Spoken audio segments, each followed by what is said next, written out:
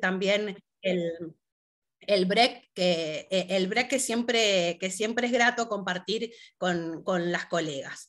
Este, vamos a arrancar con, bueno, como saben, la, nuestra charla la propusimos con el nombre de Identidad de Género y Violencias, una mirada registral y notarial. Nos acompaña, como recién dije, eh, la doctora María Marta, María Marta Cunio, eh, María Marta es abogada, es escribana, es graduada en la Universidad eh, de La Plata, ha sido jefa del, sector de consultoría y orientación registral del registro de la propiedad de la provincia de Buenos Aires, también jefa del departamento jurídico del registro de la propiedad de provincia de Buenos Aires, ha sido coordinadora de la unidad del registro de la propiedad, ha sido asesora registral, es asesor en el colegio, en el colegio de escribanos, este, de la Ciudad Autónoma de Buenos Aires, es asesora de nuestro Consejo Federal, es docente, ha sido eh, redactora del Código Civil eh, y Comercial comentado. Bueno, todos conocemos la trayectoria de María Marta, una referente para nosotros en materia registral, así que no hablo más, ahora sí, te escuchamos María Marta, les voy a pedir que silenciemos nuestros este, micrófonos para que se pueda... Perdón, Gabriela, perdón, perdón. Eh, arranca Soledad con la parte Arranca la, Sole, perdón, me equivoqué yo, pensé que arrancabas vos. Bueno, ya la presenté, entonces... Eh, me doy por presentada. Puede, puede pasar. Yo les voy a contar entonces ahora de Soledad. Soledad es una colega de Formosa, una querida colega, este, que les voy a contar que también es abogada, que es escribana, eh, que ha realizado un posgrado eh, en, el nuevo Código Civil y Comercial, tiene una maestría en Derecho Notarial y Registrar, ha, cursado eh, y es diplomada en, la Diplomatura de Planificación Sucesoria y, eh, mm, Patrimonial. Este, también es mediadora, ha este, participado de todos los encuentros del Notariado Nobel, ha sido presidenta de la Comisión del Notariado Nobel, integra el Colegio de, Escribanos de Formosa, ha ganado premios con ponencias en los encuentros nacionales del notariado, ha presentado eh, trabajos que han, eh, que han, dispuesto que se han publicado, también así, ha tenido menciones este, en, estos, en estas jornadas y es una referente que siempre está presente en el notariado Nobel, muy comprometida con temas vinculados con, me emociona porque la quiero mucho, este, a Sol y me alegro un montón de que estés acá. Muchas gracias, Gaby. Eh, bueno, la emoción se transmite, así que difícil comenzar, eh, pero bueno, acá estamos. Primeramente agradecer a la comisión por esta convocatoria, la verdad es que para mí es un placer, y agradecer también a María Marta y a Javier por permitir acompañarlos. Para mí es una experiencia enorme, así que gracias. Bueno, en lo que a mí respecta, eh, yo trataré, haré un breve recorrido sobre la ley de identidad de género, eh, eh, su decreto reglamentario y el decreto ley 476 del año 2021 en lo que respecta al inicio del trámite identificatorio de toda persona que se encuentra em, amparada por las normas eh, nombradas anteriormente. Gaby, si vos puedes empezar a pasar el, el PowerPoint, te voy a agradecer. Gaby no me escucha. Gaby. Si vos puedes pasar el PowerPoint.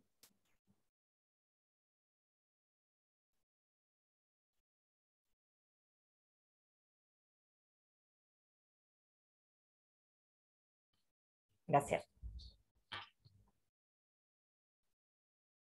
Bueno, eh, primeramente siempre a mí me gusta en lo personal aclarar que el sistema identificatorio nacional encuentra su basamento en dos sistemas totalmente interdependientes. El primero de ellos es el registral y el segundo de ellos identificatorio. El primero está a cargo de los registros civiles y capacidad de las personas en las provincias y la ciudad autónoma de Buenos Aires. Se encuentra regulado por la ley 26413 y el segundo de ellos por el Registro Nacional de las Personas, conocidos por todos por el como RENAPER, que se encuentra regulado por la ley 17671 y tiene competencia jurisdiccional nacional. Bueno, Esta diferenciación es importante para poder comenzar con el análisis de la ley de identidad de género, porque en su artículo 4 hace referencia a que el inicio del trámite de adecuación de la ley em, debe realizarse frente a las oficinas seccionales del Registro Nacional de las Personas. Lo aclara el decreto reglamentario 1007 eh, de esta ley, que eh, no es así, porque el inicio del trámite se debe realizar ante las oficinas seccionales del registro civil y capacidad de las personas. Entonces, toda persona que desee realizar la adecuación de su acta de nacimiento por encontrarse amparados bajo estas normativas, debe dirigirse al registro civil y capacidad de las personas más cercanas a su domicilio, siendo siempre mayor de edad, y solicitar la adecuación de su acta de nacimiento se le va a entregar un formulario donde va a especificar el prenombre y el sexo o género que va a adecuar. Posteriormente el trámite es interno, administrativo, se procede a la inmovilización del acta originaria, se realiza la nueva acta y luego se comunica a la persona que ya está en condiciones de tomar el nuevo trámite de DNI. Hasta ahí el trámite en general. Tenemos dos cuestiones para plantear. Eh, primeramente, de que en los casos de los menores particularmente, siempre deben hacerse presentes con sus eh, representantes legales. Puede suceder de que eh, esta presentación sea dificultosa porque algunos de los representantes legales no se encuentran en el lugar donde se inicia el trámite.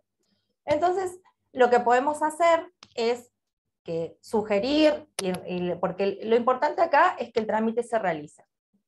Entonces, el representante legal que no se encuentra en la provincia o en la localidad donde se va a realizar el trámite se puede dirigir al registro civil más cercano a su domicilio a, presentar, a prestar su consentimiento al trámite que va a realizar su hijo, en todo caso sería eh, hijo o hija, y prestar su conformidad para esta adecuación del acta de nacimiento. Si no puede presentarse al registro civil o no lo desea hacer, porque muchas veces el trámite administrativo resulta quizás eh, engorroso o por los horarios, además puede realizarlo frente a la escribanía, a una escribanía, al escribano de su confianza. Así que esto es lo que tenemos que tener en cuenta, que se puede presentar un representante legal a solicitar prestar conformidad al trámite que se va a realizar en otra provincia con respecto a su hijo o hija. El otro tema importante es, eh, con respecto a los extranjeros, esto más que nada para tener herramientas de asesoramiento. Si un extranjero consulta en su escribanía si puede realizar la adecuación de su documento argentino a la ley de identidad de género, sí lo puede hacer. Ahora bien, sugiero eh, y lo recomendable es que se acerque al registro civil más cercano a su domicilio, teniendo en cuenta de que puede eh, existen distintas situaciones y dependiendo del caso se va a realizar el trámite de una u otra manera. Pero lo importante es tener en cuenta de que sí se puede adecuar su DNI al género autopercibido. Bueno, a su vez, a mí siempre me van a escuchar hablar de adecuación de acta de nacimiento y no así de rectificación como lo establece la ley. Porque como bien mencioné al principio, los registros civiles se encuentran regulados por la ley 26413. Y no procedería una rectificación administrativa, no se encuadraría eh, la rectificación conforme lo establece la ley de registros civiles, porque la rectificación solo procede administrativamente cuando hay un error u omisión del oficial público interviniente en la confección del acta que está realizando. No es el caso que establece la ley de identidad de género, que incluso establece la inmovilización del acta. Los registros civiles no tienen competencia para movilizar el acta si no es por orden judicial. Por ende, a mí me resulta conveniente siempre utilizar el término de adecuación de acta de nacimiento y no así rectificación por estas cuestiones. Y esto va de la mano del artículo 7 de la, de la ley de identidad de género que estaba, creo, en la anterior filmina, eh, porque, por cuestiones que tenemos que tener en cuenta y que se pueden eh, plantear en las escribanías. El artículo 7 de la Ley de Identidad de Género establece em, la anterior, si puede ser Gaby, o si no, yo igual lo tengo acá.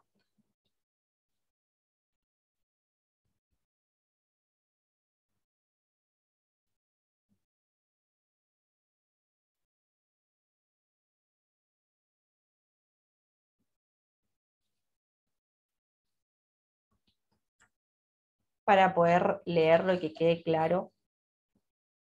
Anterior.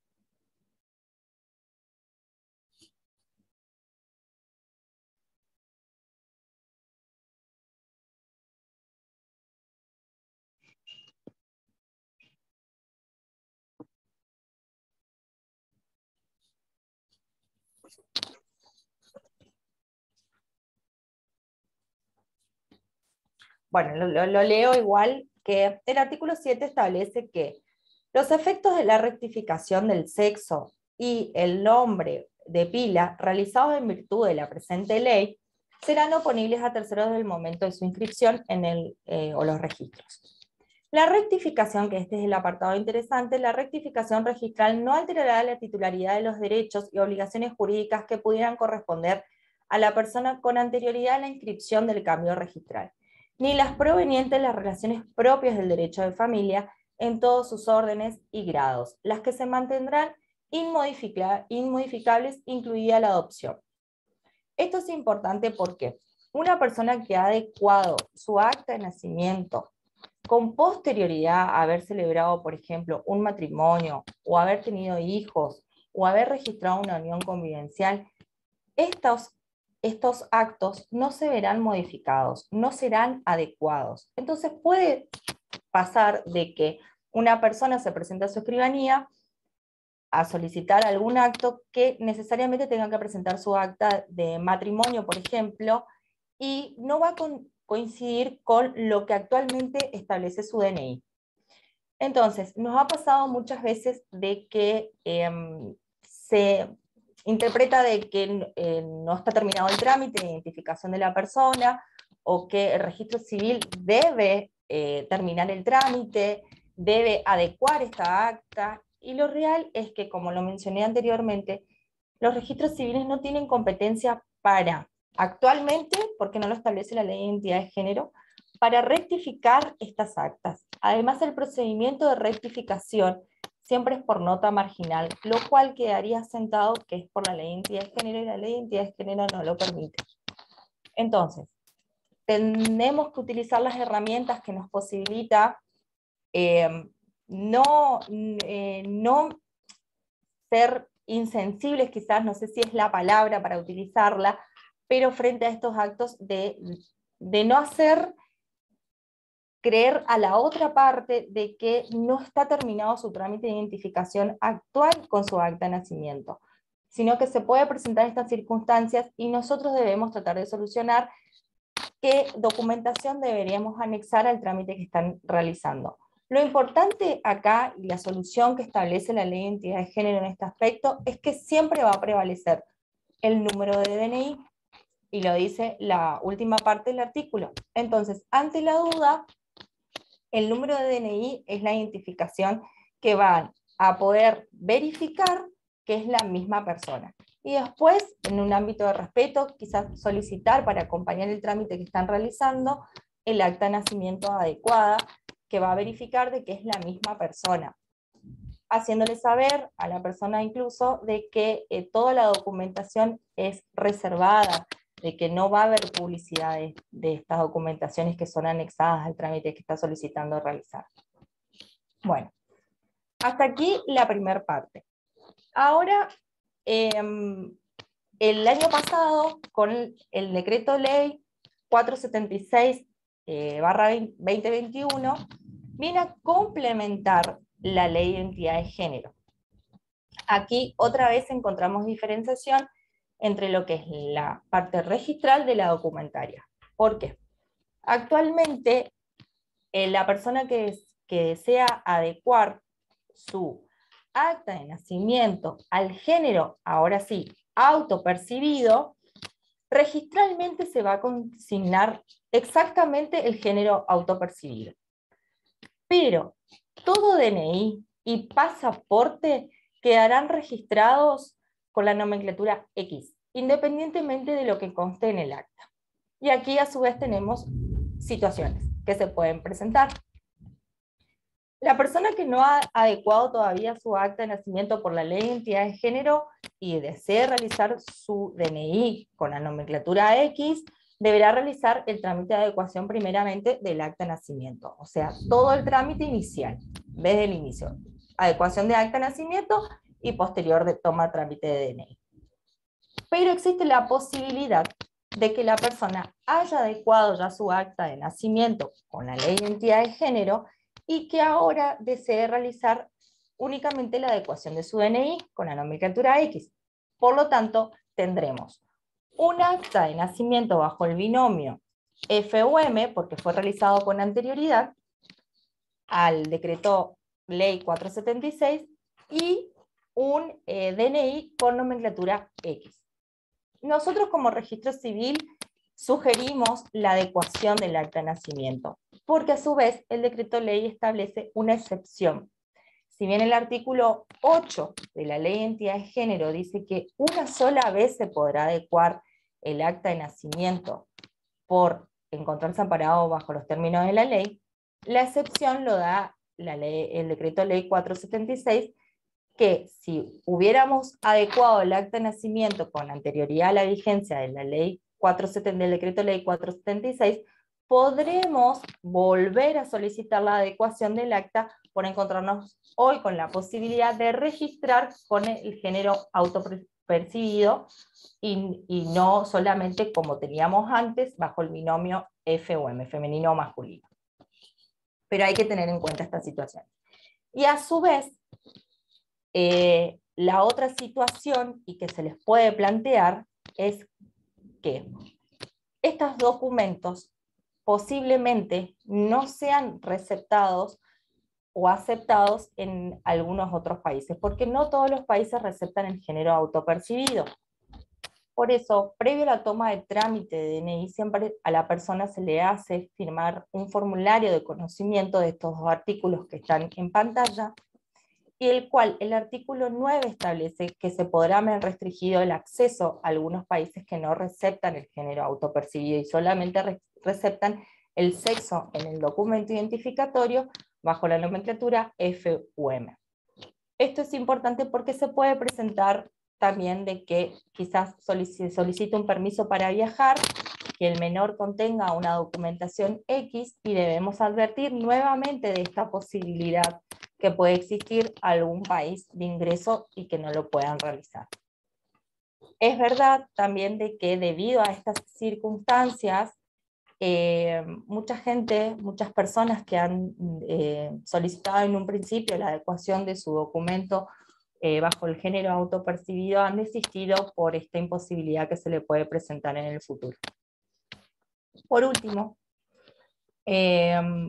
me gustaría hablar de las notificaciones breve, que si bien tanto la ley de identidad de género como el decreto reglamentario establece la obligatoriedad del Registro Nacional de las Personas a la notificación eh, respecto a la modificación del DNI, eh, hoy en día a los organismos que se ven obligados a notificar, verdaderamente como existe el sistema de la plataforma de RENAPER y acceso, eh, una vez realizado el trámite documentario, automáticamente esto se ve modificado y la base de datos también se ve modificada por lo cual eh, no sería necesario una notificación más.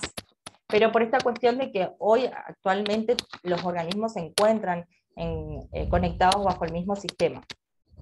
Ahora, la competencia de los registros civiles, que es provincial, establece la ley que se deberá reglamentar, cada provincia deberá reglamentar. En lo que respecta a la provincia de Formosa, que es donde yo me encuentro, nosotros seguimos el principio de confidencialidad y a su vez eh, consideramos que es un derecho de la persona realizar estas notificaciones o rectificaciones a los trámites que considere necesarios. Por ello, nosotros no tenemos eh, regulado el, el, sistema de notificación. Así. Hasta ahí, en breve análisis de la ley y lo que necesiten a disposición para brindar, como les dije, herramientas necesarias quizás para eh, no tener este inconveniente o este temor a que siempre puede surgir en las escribanías la sustitución de persona, que es lo que yo suelo escuchar, por esto que por ahí no coincide eh, el DNI con el, el, acta, ya sea como expliqué hace un momento, el acta de matrimonio, el acta de nacimiento de los hijos. Tenemos herramientas para poder eh, identificar a la persona y no mm. en, incurrir en alguna inseguridad. Muchísimas gracias.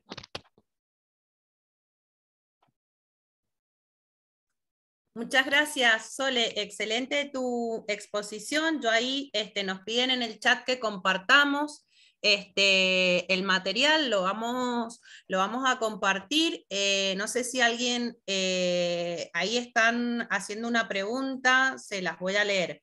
Consulta Carla Serino, si la persona se arrepiente, ¿se puede rectificar? Es decir, si se arrepiente en realidad, como nos dijo este, Soledad, si podría volver a hacer una adecuación. No hablemos de rectificación, hablamos de adecuación. la adecuación. No se, puede. Eh, no se puede, lo establece la ley en su artículo 8, y la única excepción es que no se haya encontrado amparado en el momento de la adecuación bajo el género autopercibido y la única opción que tenía anteriormente era adecuar su acta de nacimiento bajo el binomio femenino-masculino razón por la cual la excepción hoy en día es que se desea adecuar bajo el género autopercibido. Pero si no, el trámite es judicial si desea volver a rectificar. Muy bien, gracias. ¿Alguna otra consulta? Que nos escriban, que pidan la mano, levantan la mano, no veo nadie que nos haya... No hay otra consulta. A ver acá. Eh, Jimena Sánchez Bertonas, no me, no, me quedó claro cómo acreditamos su identidad cuando tenemos diferencia entre DNI y acta. ¿Qué pasa con los registros de la propiedad cuando hacemos eh, estudios de antecedentes? Eso lo vas a abordar vos, María Marta, ¿verdad? Bueno, entonces le contestamos a nuestra colega Jimena que ahora vamos a pasar a tratar ese tema. Eh, Macarena nos consulta, el consentimiento de los representantes legales en la escribanía, ¿se debería hacer por escritura o por instrumento privado con firma certificada alcanza? Por instrumento privado con firma certificada es suficiente. Incluso muchas veces. Nosotros, pero nosotros siempre hacemos todo por escritura porque defendemos la escritura pública. Está bien. Nosotros siempre recomendamos incluso de que se comuniquen con el registro civil interviniente en el trámite para que quizás eh, lo puedan gestionar eh, qué es lo que cada registro recepciona. Nosotros lo tratamos de hacer lo más sencillo posible porque, como dije, está eh, principalmente la identidad del menor, poder terminar el trámite.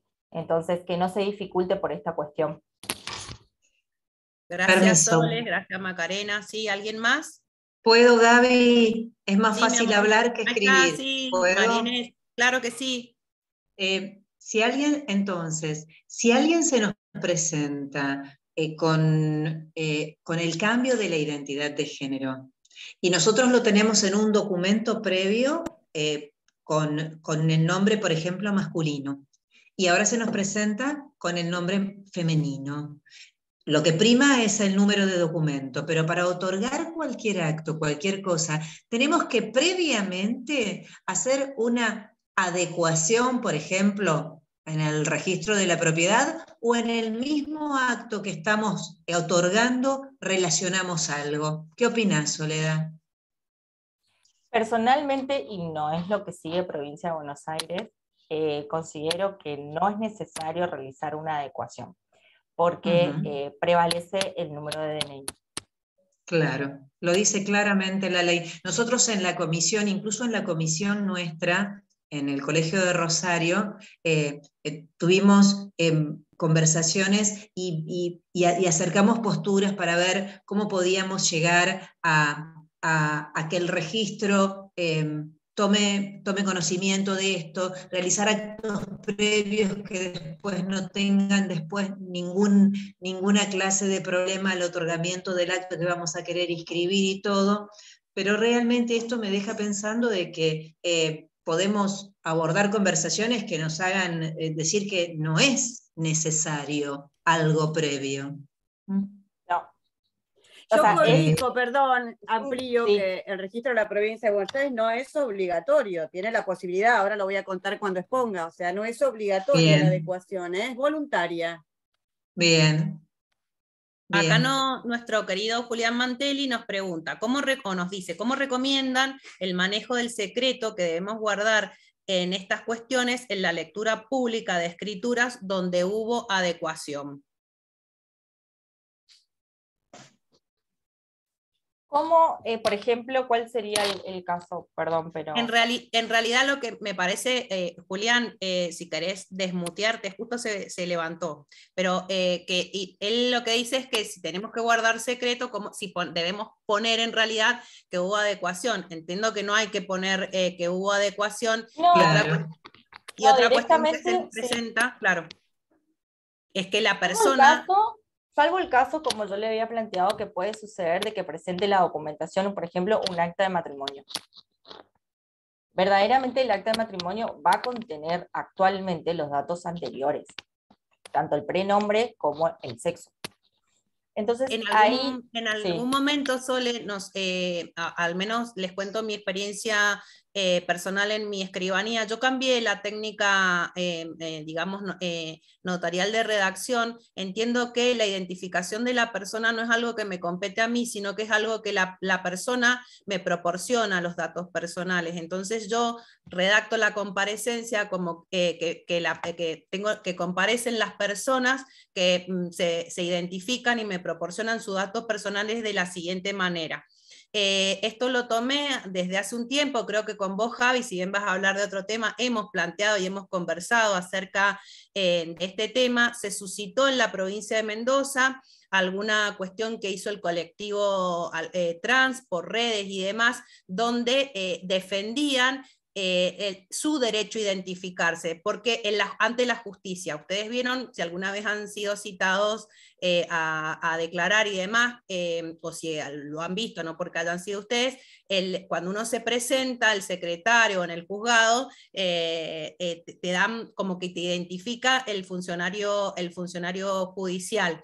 Entonces el colectivo trans hizo un reclamo diciendo mi derecho, el derecho a identificarme es mío. Entonces me pareció válido ese reclamo y de ahí en más yo cambié esa técnica por poner que la persona se identifica y me proporciona sus datos personales para tener este resguardo. No sé qué opina el resto y bueno, lo dejo abierto. Bien. Yo lo pongo de la misma manera, Gaby. Yo pongo que la persona me proporciona sus datos. Perfecto. Y que yo lo identifico con el documento. Por eso, eso, eso bueno, eh, es, algo también que tenemos para discutir y, madurar, digo, como, como notarios. Em, tenemos una consulta de Lucía Salto, que nos dice, ¿tuvieron muchos casos en el que solicitan dicho cambio? Sí, provincia Ahora cuando ponga contexto, yo no sé. Em, cambio, em, adecuación de acta desde el origen de la, ley sería, o actualmente con el decreto eh, ley de em, género. Calculo que la pregunta es esto, si hay, si, si hay, digamos, si hay acceso al, ejercicio del derecho, sería, si existen... Sí, sí, sí, sí, sí. Sí, hemos tenido incluso esta situación varias veces de que con los menores, que los progenitores no se encuentran en el mismo lugar. Por eso el año pasado en el Consejo Federal de Directores, en diciembre, se estableció de común acuerdo la posibilidad de realizarlo frente a escribanía porque anteriormente no estaba consensuado. Ahí nos cuenta Carla que tuvo un caso en que una señora había afectado la ley 24374, regularización dominial, con nombre y género masculino, pasado los 10 años, consolidó el dominio como femenino, el DNI es el mismo, solo acreditamos su identidad actual. Bueno, cuando les parezca y si les parece bien, pasamos eh, para respetar los horarios a María Marta.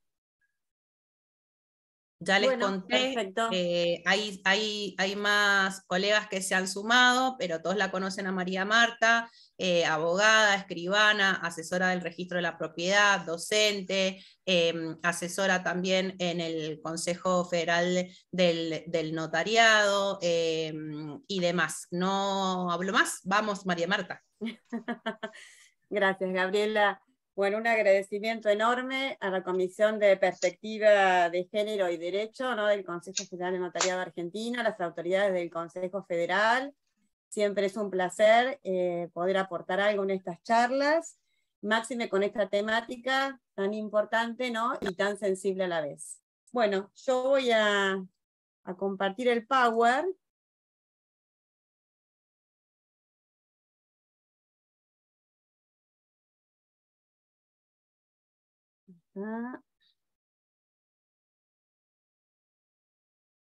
Perfecto.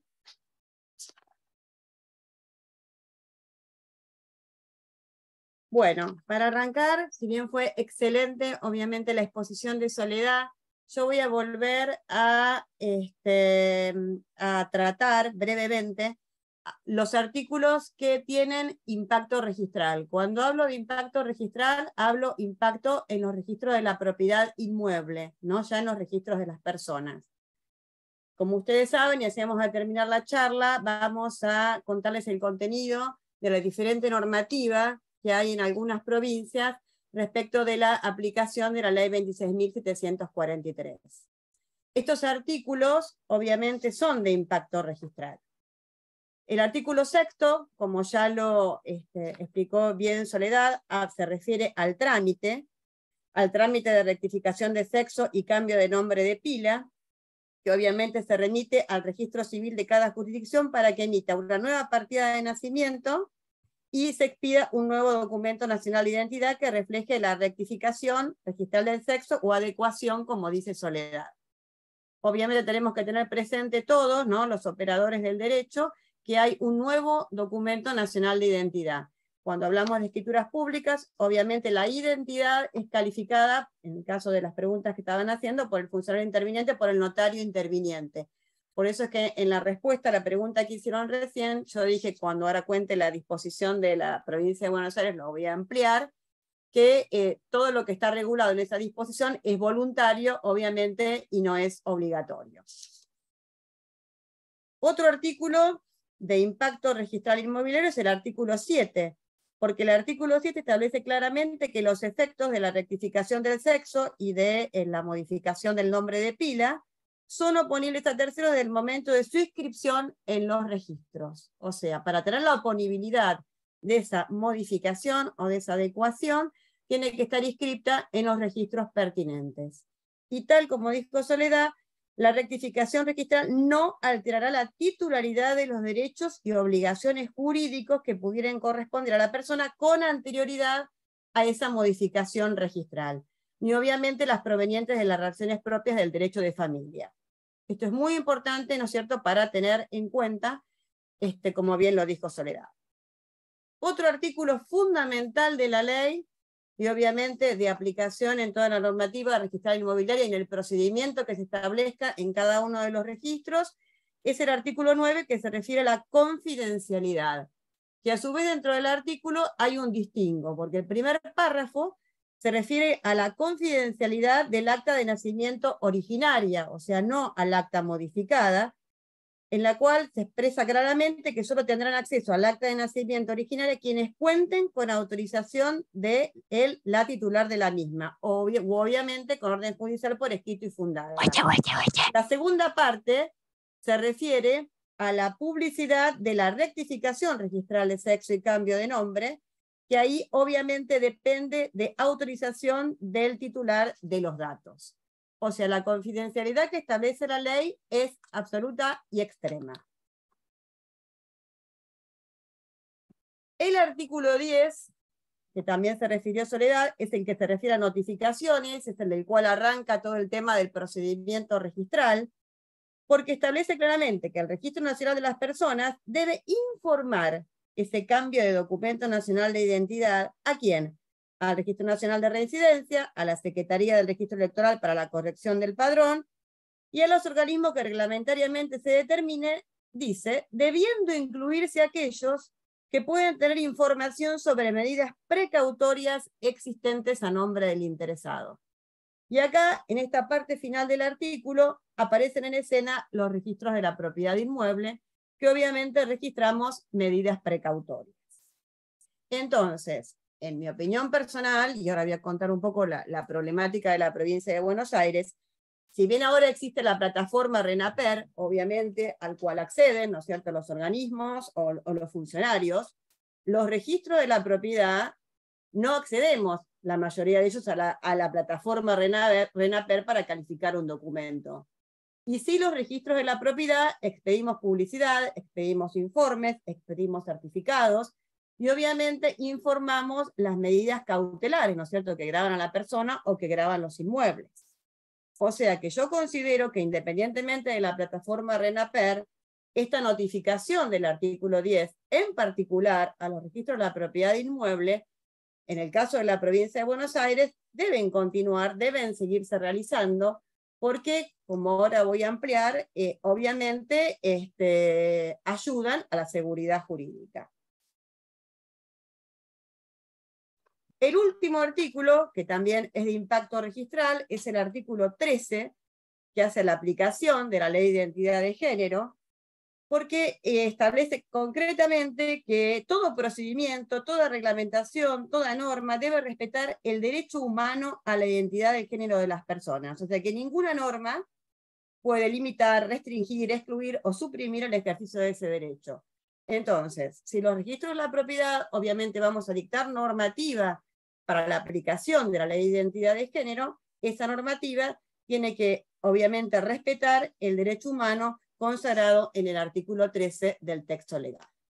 Entonces, estas normas yo considero que son sumamente importantes al momento de que el registro de la propiedad tenga que dictar su procedimiento, ¿no es cierto?, o su propia normativa.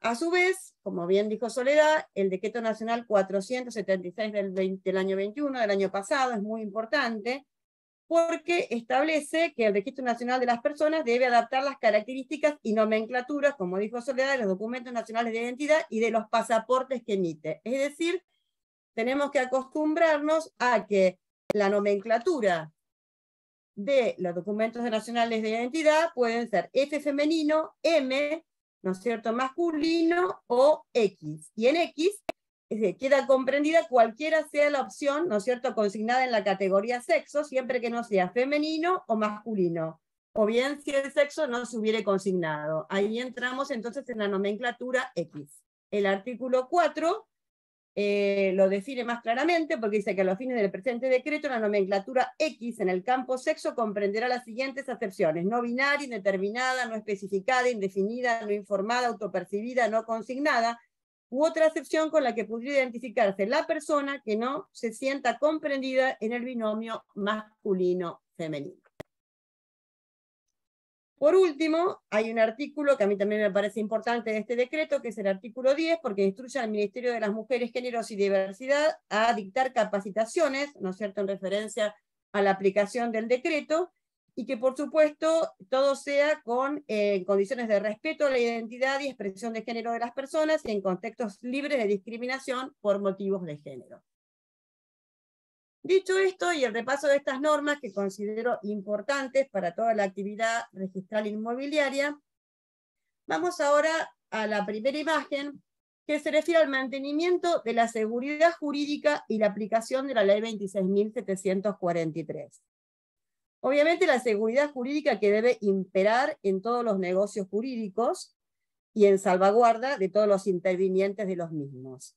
Es decir, que la normativa que dicte cada registro de la propiedad, obviamente tiene que consagrar y asegurar, ¿no es cierto?, valga la redundancia, esa seguridad jurídica. Pero a su vez, esa normativa no tiene que vulnerar la confidencialidad extrema de la ley 26.743, que está consagrada en el artículo 9.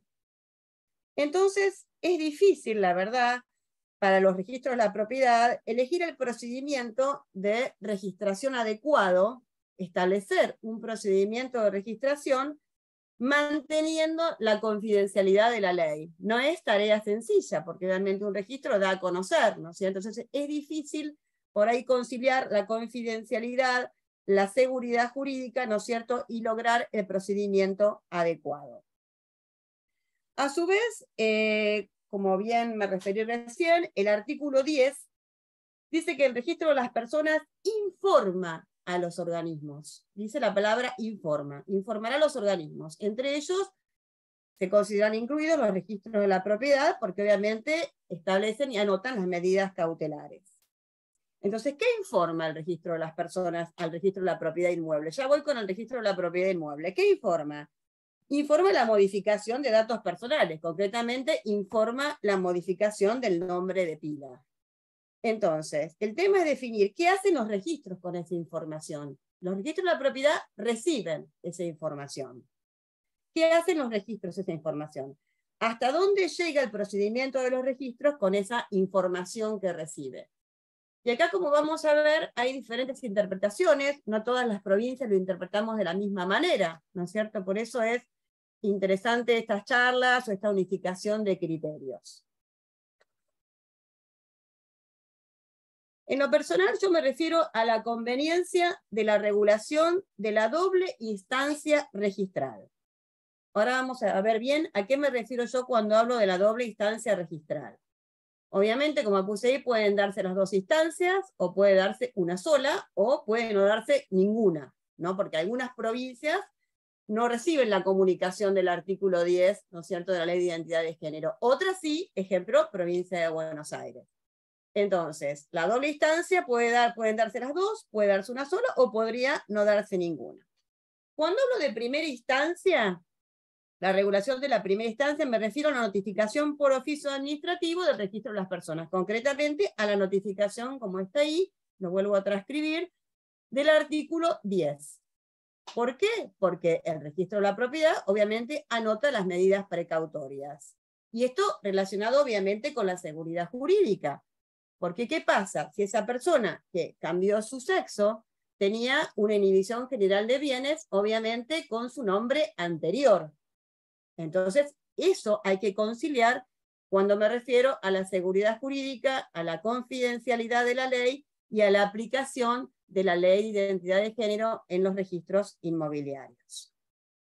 Entonces, cuando hablamos de primera instancia, cuando hablo de primera instancia, me refiero a la notificación por oficio administrativo consagrado en el artículo 10. ¿Cómo es la forma y guarda aconsejable esta notificación? Bueno, la forma siempre se ha recibido en sobre lacrado, ¿no es cierto? Un sobre lacrado, que se entrega prácticamente de persona a persona, así han llegado estas notificaciones. Si han llegado bastantes, si han llegado bastantes, hubo años en que han llegado muchas, sobre todo los primeros años, ¿no es cierto? Luego que se puso en vigencia la ley de identidad de género, después el número fue menor. La guarda que se hizo de esa documentación, de esos oficios, generalmente, cuando me refiero a guarda, porque era manejada esa documentación con tanta confidencialidad que quedaba guardada, ¿no cierto?, en la caja fuerte de determinados sectores del registro de la propiedad. Esa documentación era manipulada por poquísimas personas, ¿no es cierto?, que después voy a contar cuál era el procedimiento que hacían en la provincia de Buenos Aires, eran personas, en el caso este de la ley de identidad de género, pertenecientes justamente al departamento jurídico y aparte cumplían con la confidencialidad a rajatabla. Ahora, ¿cuál es la forma más apropiada que deberían proceder los registros ante una notificación del artículo 10? Esa es la pregunta. El registro recibe esa información, ¿no? Porque el registro de las personas informa a los registros. ¿Y qué hace? Porque hay que tener en cuenta que ese oficio del artículo 10 es un documento administrativo, obviamente, dentro de la categoría de documentos que se inscriben en los registros de la propiedad, es un documento administrativo, no es ni judicial ni notarial. Tampoco hay aplicación del principio de rogación, ya que es una comunicación que emite el registro de las personas de oficio, es decir, no hay rogación de parte interesada. Entonces, ¿corresponde en esta instancia con, la con el solo recibimiento del, del documento administrativo del artículo 10, la modificación de las constancias registrales, o sea, corresponde con la sola recepción de la comunicación del artículo 10, dejar constancia en los asientos referidos a una inscripción de dominio, es decir, a un inmueble determinado, cuando no tenemos principio de rogación, todo para debatir, ¿no? Es un gran debate, este, por eso es que la interpretación no es coincidente en, los diferentes registros que tienen norma, ¿no? Eh, a su vez, em, que el deber de confidencialidad hay que tener en cuenta que en esta primera instancia, es decir, con el oficio del artículo 10, yo considero que el deber de confidencialidad es absoluto. Es decir, hay una confidencialidad extrema que el registro de la propiedad, al recibir ese oficio, debe cumplimentar, debe salvaguardar. A esto me refiero yo entonces cuando me refiero a primera instancia, al oficio administrativo del artículo 10. Después voy a contar cómo procede, ¿no es cierto?, cada una de las provincias con la que tenemos normativa con la recepción del oficio del artículo 10. Cuando me refiero a la segunda instancia, ya no me refiero al oficio del artículo 10, sino que me refiero al documento rectificatorio, ¿no? Eh, que puede ser judicial o puede ser notarial, que se ingresa al registro, pero que obviamente ese documento es a instancia de la persona que ha modificado su género. Entonces, eh, la rogación y la registración del documento va a responder a que sea un documento autorizado a instancia de la persona. Hay principio entonces de rogación y obviamente al haber un documento expresamente autorizado para que quede la constancia del cambio de género, ese, ese documento se va a referir a un inmueble que va a estar expresamente individualizado en el documento. Concretamente va a haber una rectificación de los datos personales. Bien, como dije recién, se cumplimenta acá ya cuando hay un documento expresamente autorizado el principio de rogación, como con cualquier documento que ingresa al registro, principio fundamental de la ley de 1801. Cuando hay un documento rectificatorio autorizado, ingresa al registro, se cumple con el principio de rogación. Ahora, para analizar ¿Qué pasa con la confidencialidad en esta segunda instancia? Porque acá ya está la persona, ¿no es cierto?, que requirió la utilización de un documento. ¿Qué pasa con la confidencialidad? ¿Estaría dispensada porque ya la persona fue a la escribanía porque ya la persona concurrió a un juzgado? ¿Estaría dispensada esa confidencialidad con este documento que se autoriza en esta segunda instancia?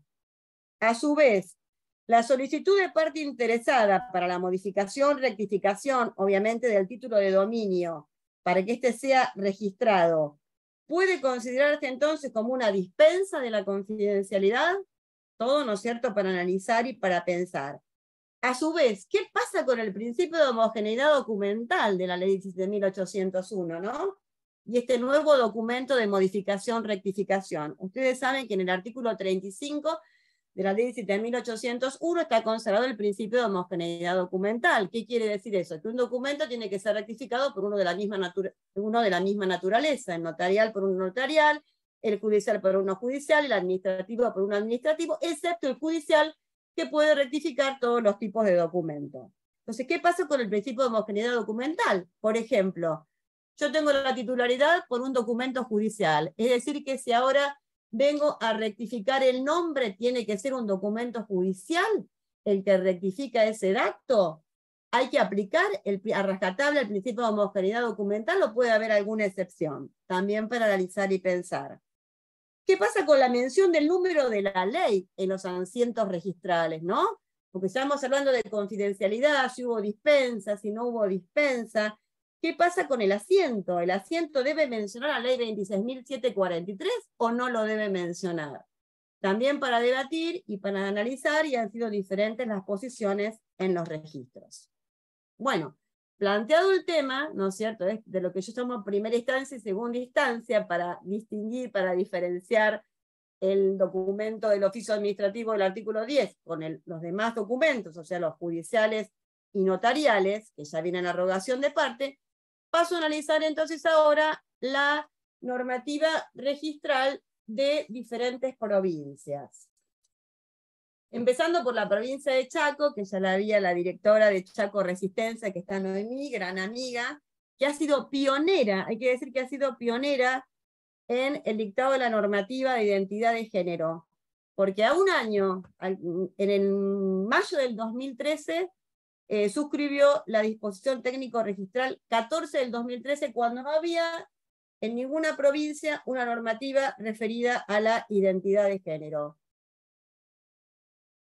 Ella suscribe dos disposiciones técnicos registrales, la 14 del 2013 y luego la 1 del 2020. Pero la 14 del 2013 la suscribe prácticamente casi sin haberse debatido en congresos este tema, sin reuniones nacionales de directores que hubieran debatido el tema, por eso digo que ella verdaderamente fue pionera en la materia. Ella se limita a la primera disposición técnico registral, que después es complementada por otra. Ella regula la registración más bien en la segunda instancia para todo tipo de documentos, o sea, habla de la registración en las inscripciones de dominio, en esta primera disposición técnico registral. Eh, en los considerandos establece que el documento que ingresa al registro puede consistir en la nueva partida de nacimiento, DNI, resolución judicial, oficio del registro de Estado Civil y capacidad de las personas, o en una escritura notarial a solicitud del interesado. O sea que establece, abarca todos los documentos que pueden ingresar al registro referentes a este tema. A su vez establece que el registrador debe extremar el deber de prudencia en el tratamiento de los datos personales y está obligado a guardar secreto profesional y muy bien, con un excelente criterio, cita a la ley de habeas data, o sea, la ley de protección de datos, la ley 25.326, artículo 10, inciso primero. Excelente se considerando. A su vez, en la parte dispositiva de esta primera disposición técnico-registral, regula la inscripción en la matrícula, ya en la inscripción de dominio, haciendo el asiento con todos los datos pertinentes, pero en esta primera disposición ella dice que no se hará mención a la ley 26.743 por, obviamente, tema de confidencialidad. En su segunda disposición técnico-registral, es decir, la una del 2020, que complementa la anterior, ella ya pone entre sus considerandos una recomendación, que también ahora me voy a referir, que es la correspondiente a la 50 Reunión Nacional de Directores de Registro de la Propiedad Inmueble, una reunión que se celebró en Tucumán, que en esa reunión se dice que no resulta violatorio de la confidencialidad la inclusión del número de la ley, o sea, el número de la ley de identidad de género, en el asiento registral ella lo cita como un considerando. Y a su vez, regula la primera instancia, o sea, la registración de ese oficio de comunicación del artículo 10, ya en forma diferenciada. Es decir, regula específicamente el oficio del registro de las personas, específicamente como documento administrativo. Y en cuanto a ese oficio, habilita el sistema de la ley 26.743, mediante el cual se registran las disposiciones administrativas del registro de las personas, con la particularidad que al igual que Buenos Aires, que ya lo tenía desde el año 2013, la carga se hace por tipo y número de documento y se informa en la expedición de los servicios de publicidad de anotaciones personales. ¿Esto qué quiere decir? Que este primer oficio administrativo que ingresa al registro de la propiedad de oficio no se vincula a la inscripción de dominio, porque no hay principio de rogación, no se vincula, no se hace un asiento de rectificación, ¿no es cierto?, de datos, sino que se vincula a la base de anotaciones personales. ¿Para qué? Para que cuando se pida un informe o un certificado de anotaciones personales, el registro informe qué cosa va a informar el registro, porque acá sí está la confidencialidad de la ley. Solamente informa que hay una disposición número tanto del registro de las personas. Nada más que eso. No informa su contenido solamente informa el número de la disposición administrativa. Entonces, si en los servicios de publicidad de anotaciones personales, en caso de estar registrada una comunicación, se previene, se previene la misma, indicándose el número conforme el deber de confidencialidad. Si el profesional requirente quiere saber el contenido de esa disposición del registro de las personas, obviamente tiene que tener la autorización del interesado y dirigirse al registro de las personas. El registro de la propiedad no va a informar precisamente por ese deber de confidencialidad. Y a su vez, tiene una particularidad, esta disposición de Chaco, que dice que la información de las anotaciones personales referida a la persona que ha cambiado de identidad de género debe ser solicitada solamente por la misma. o sea, las disposiciones técnico-registrales, ambas de Chaco, que se complementan, prácticamente siguen la línea, como ahora voy a contar, del registro de la provincia de Buenos Aires. Pero bueno, eh, aplauso para Chaco porque ha sido la pionera en la normativa registral. Siguiendo el orden cronológico, me voy a referir ahora a la recomendación de la 50 reunión de directores de registro de la propiedad inmueble, porque tiene una recomendación muy particular. En primer lugar, distingue las dos instancias.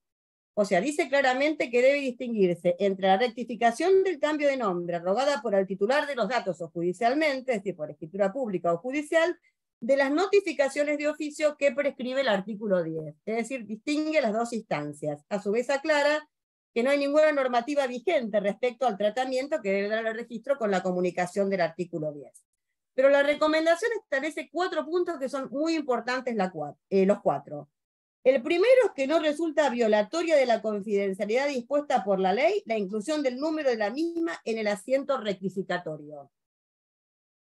La segunda es que dicho asiento debería consignar la siguiente leyenda. Rectificación Ley 26743, consignando los datos personales modificados y el correspondiente cierre registral. ¿Por qué? Porque cuando hablamos, como dije hoy, de la segunda instancia, ya hablamos como una dispensa de la confidencialidad, algunos interpretamos que ya hay una dispensa, atento que esa rectificación fue instancia de parte.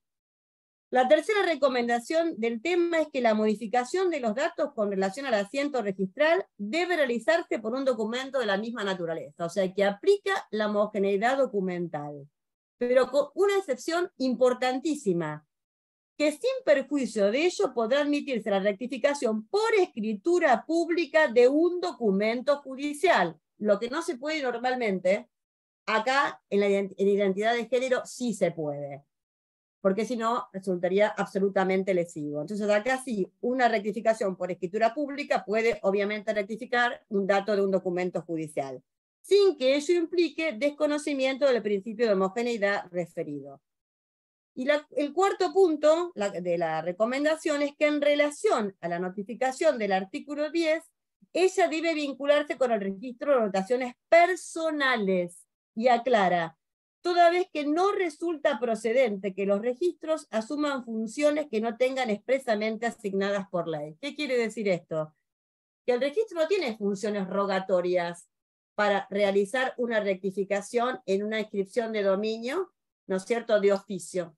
El registro no tiene funciones rogatorias. Por eso dice acá claramente, asume funciones que no tenga expresamente asignadas por ley. Obviamente estas recomendaciones no son vinculantes para los registros de la propiedad, todo es materia de interpretación, de debate, sabemos que con el paso del tiempo, ¿no es cierto?, las ideas van cambiando, pero bueno, esta me parece una recomendación sumamente interesante, fue en el año 2013, en septiembre del 2013, y fue redactada por Buenos Aires, San Juan, Cava y Neuquén. Luego tenemos la eh, disposición técnico-registral de la provincia de Buenos Aires, que también fue en diciembre del 2013, del mismo año.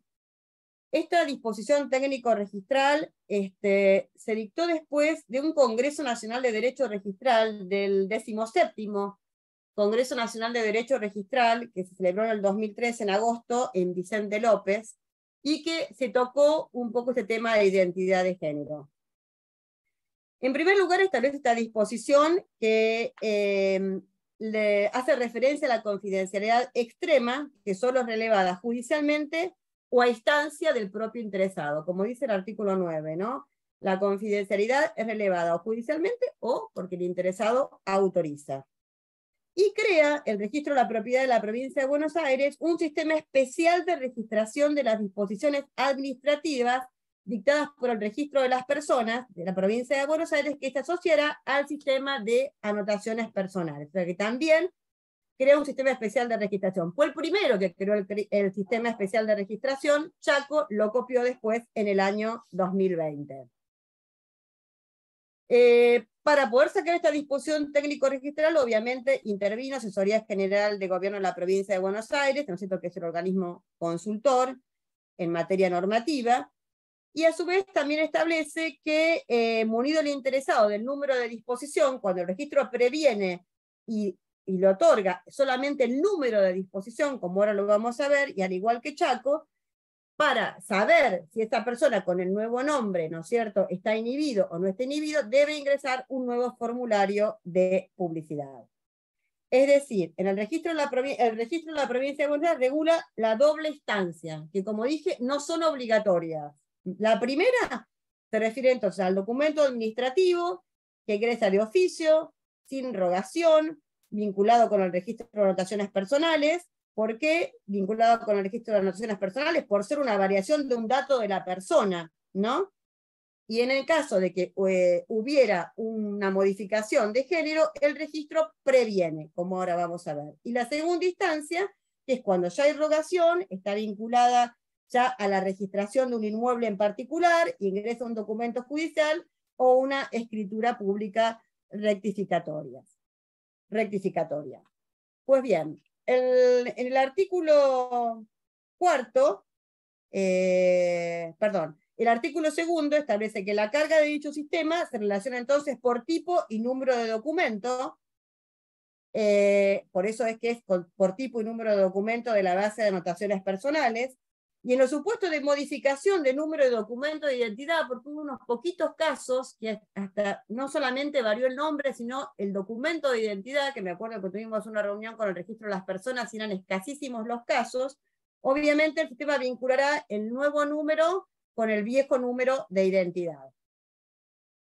Entonces, eh, cuando exista anotada una disposición del artículo 10 e ingrese un informe o un certificado de, de anotaciones personales, el registro previene de la existencia de esta comunicación informando el número de la misma mediante un formulario especial que fue aprobado por esta disposición. Solamente informa el número. Eh, a su vez, cuando ingrese al registro, que esto ya es la segunda instancia, un documento judicial o una escritura rectificatoria por la cual se requiera que se publicite el cambio de género en relación a un inmueble determinado, se practica un asiento, como todos los asientos, que establece sí el número de la ley. Dice ley 2726743, el nombre del titular, datos filiatorios y cierre registrado. A su vez, esta escritura este, o este documento judicial puede instrumentarse de forma autónoma o simultáneamente con el otorgamiento de otro acto jurídico. Luego tenemos a la provincia de Mendoza, ¿no es cierto?, que también tiene una, una excelente normativa al respecto, muy reciente, porque es de septiembre del 2022, es la orden de servicio 576 del 22, regula las dos instancias, ¿no es cierto?, pero en forma conjunta. ¿Qué quiero decir esto? Que las dos instancias llegan al mismo resultado. Es decir, que tanto la instancia del oficio administrativo como la instancia del documento rectificatorio judicial o notarial se provocan una registración en la inscripción de dominio. Esa es la variante, podemos decir, con Chaco y con la provincia de Buenos Aires.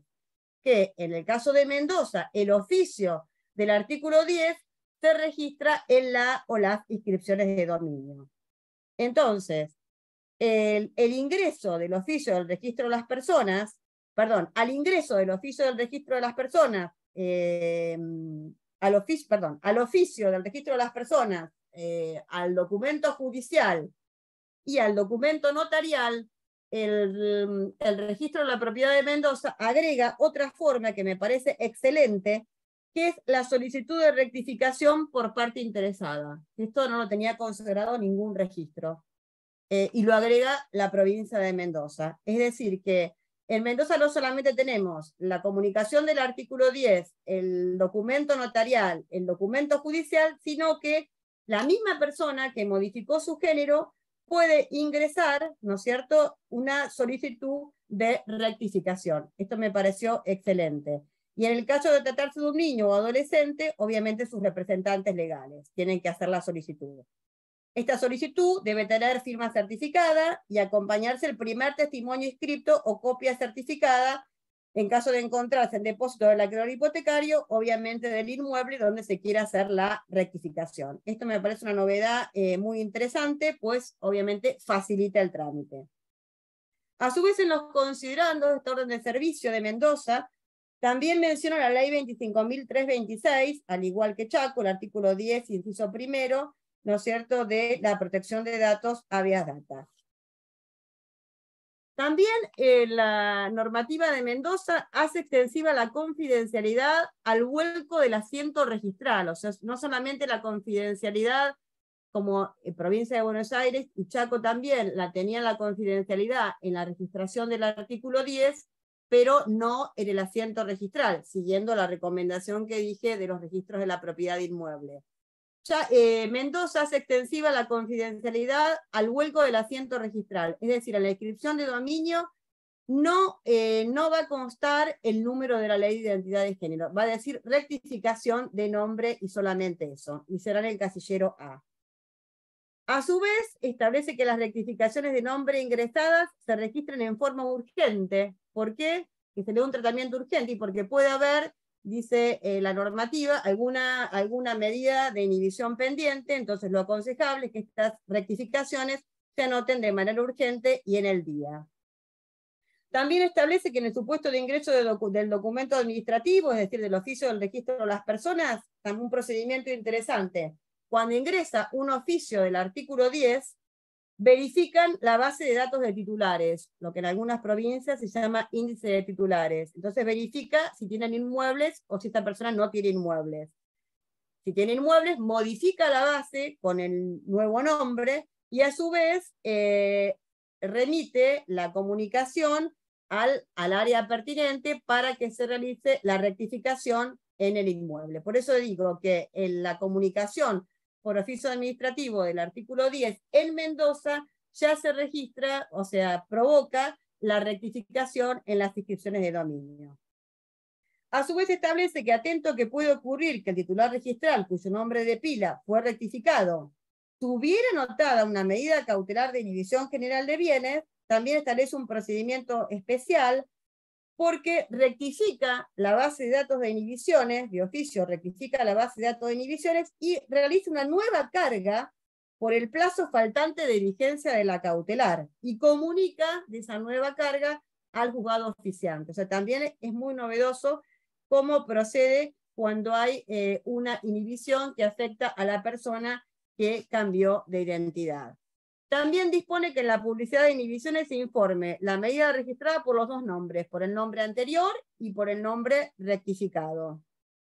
Recomienda a los agentes que intervengan en la registración, en el asesoramiento, el respeto del deber de confidencialidad y muy importante también para tener en cuenta, todos los trámites vinculados a la rectificación de nombre son gratuitos. O sea, no solamente lo tiene a solicitud de parte interesada, sino que también son gratuitos. Es decir, si bien tiene un procedimiento y un tratamiento absolutamente diferente, porque como dije, el oficio administrativo termina rectificando la inscripción de dominio, obviamente tiene eh, artículos que son excelentes y que, bueno, que son, este, la verdad que tienen que ser objeto de tratamiento porque me, me gustan mucho para que estén en las normativas registrales. Por último, tenemos eh, el Registro Nacional de Tucumán, que también recientemente eh, sacó una orden de servicio en el mes de octubre, la orden de servicio 6 del 22, que se refiere a la registración de la rectificación en los asientos, o sea, lo, lo que llamamos segunda instancia, y define no volcar el número de la ley 26743 ni aclaración de ningún tipo en cumplimiento del deber de confidencialidad. En síntesis, y para terminar, como conclusión, puedo decir que eh, hay una necesidad de que todos los registros del país dicten la normativa apropiada referida a la ley de identidad de género, obviamente cumplimentando el artículo 13 de la misma ley, ¿no? que es el artículo que establece el respeto al derecho humano eh, de identidad de género, que ese derecho no sea ni limitado, ni restringido, ni excluido, ni suprimido, entonces, es importante que todos los registros nos vayamos acomodando en relación a este tema.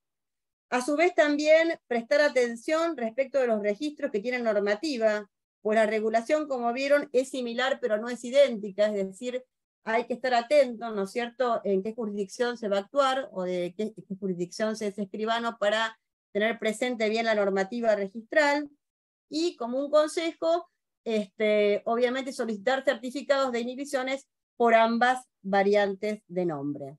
En lo personal, obviamente comparto el contenido de, la disposición técnico registral de la provincia de Buenos Aires, de la cual fui coautora, este, porque me parece muy bueno el procedimiento y, y, de las dos instancias, ¿no es cierto?, y la diferencia entre una y otra, pero como dije recién, considero que la disposición técnico registral de Mendoza ha sido muy novedosa y que tiene artículos excelentes, ¿no es cierto?, que eh, son importantes que sean tratados y hasta reproducidos en otra normativa registral. Bueno, acá llegué con la exposición, más o menos le di un pantallazo de las provincias que tienen normativa registral, si quieren hacerme alguna pregunta. Muchas gracias, María Marta. Muy clara tu exposición.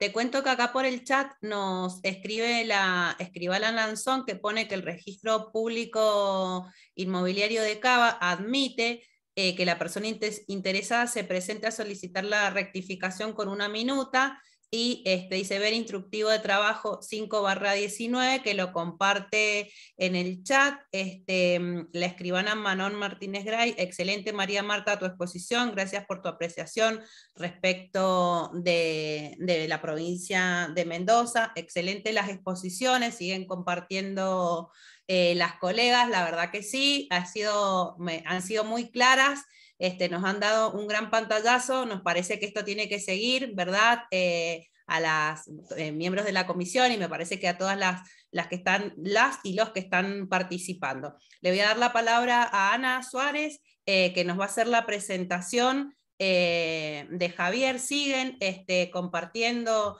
los colegas, las colegas en el chat, muchas gracias, excelente exposición, excelente, excelente exposición, gracias, gracias, de verdad chicas, estuvieron eh, brillantes, vamos a seguir con estas, con estas charlas. Eh, que nos parece que tenemos varios temas para debatir, para aportar este, al notariado. Felicitaciones a las exposiciones, muy claras, gracias. Eh, bueno, son algunos de los mensajes que, que, están pasando en el chat, gracias, me encantó. Eh, nos encanta la, jornada, nos encanta que estemos todos aquí reunidos. Eh, vamos a dar eh, presentación a nuestro colega Javier. No se vayan, que queda una parte interesante, que es importante que tengamos una, una visión que tiene que ver con la violencia. Les sigo leyendo otra, me encantó, gracias por la exposición. No entiendo bien cuando se habla de segunda instancia y la escritura notarial, cómo se realiza el material de confidencialidad. Este, bueno, em, Jimena Sánchez Bertona. Jimena, eh, te pedimos que, tomes contacto con la comisión y ahí podemos por ahí eh, charlar, invitarte un día y, que participen. Todos pueden participar, todos pueden escribir y demás y que nos vayamos nutriendo eh, entre todos de, estas, de estas temáticas. Contarles dos cosas antes de que pasemos a Javier. hoy es el Día eh, Internacional de la Lucha contra el Cáncer de Mama. Invitamos a todas eh, a que nos realicemos los, los controles que son necesarios. Que el Consejo Federal del Notariado Argentino, en virtud de un convenio celebrado con el gobierno de la provincia de Mendoza, brinda capacitación continua desde hace más de un año en el marco de la ley Micaela, invitarlos, invitarlas también a que realicen eh, esa capacitación que se autogestiona, digamos, no tienen, la pueden realizar en base a sus necesidades, cuando ustedes quieren, entran y demás. Desde el Consejo Federal del Notariado se hace se gira a, a, todas las jurisdicciones la información y después cada colegio elige o no hacer la difusión. Eh, hay colegios que lo hacen y otros colegios que no realizan esa, esa difusión, pero siempre en el Consejo Federal está disponible para poderse inscribir y capacitarse en la ley Micaela, que también brinda un importante espectro en todo lo que tiene que ver con esta temática.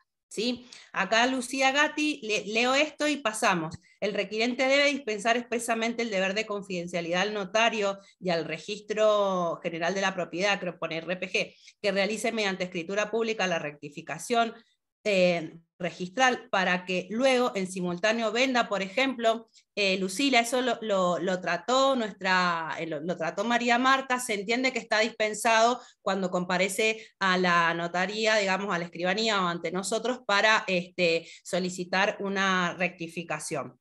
Pueden ver, eh, ah, acá Susana, eso también, Su, nos estábamos olvidando, eh, por el canal de YouTube del, del, Colegio de Provincia de Buenos Aires, tienen, hay un ciclo de género y derechos humanos que se realizó en el 2020, si mal no recuerdo, eh, no me acuerdo el año, si fue dos, pero ustedes ponen canal del colegio, Su, ¿lo querés presentar?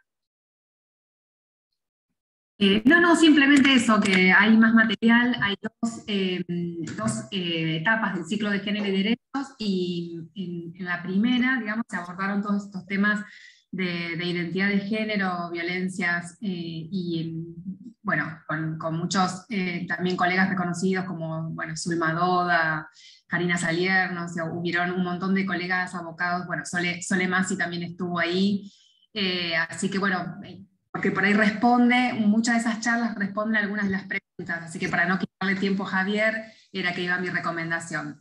Ahí, lo compartió Celeste. Lo puso. Gracias. Eh, Lilia pone por qué hay que informar inhibiciones por el nombre anterior, porque es una buena técnica. verificar, lo, explicó María Marta, vamos a también poder poner a disposición para que puedan volver a escuchar y detenidamente. Pasamos a Javier.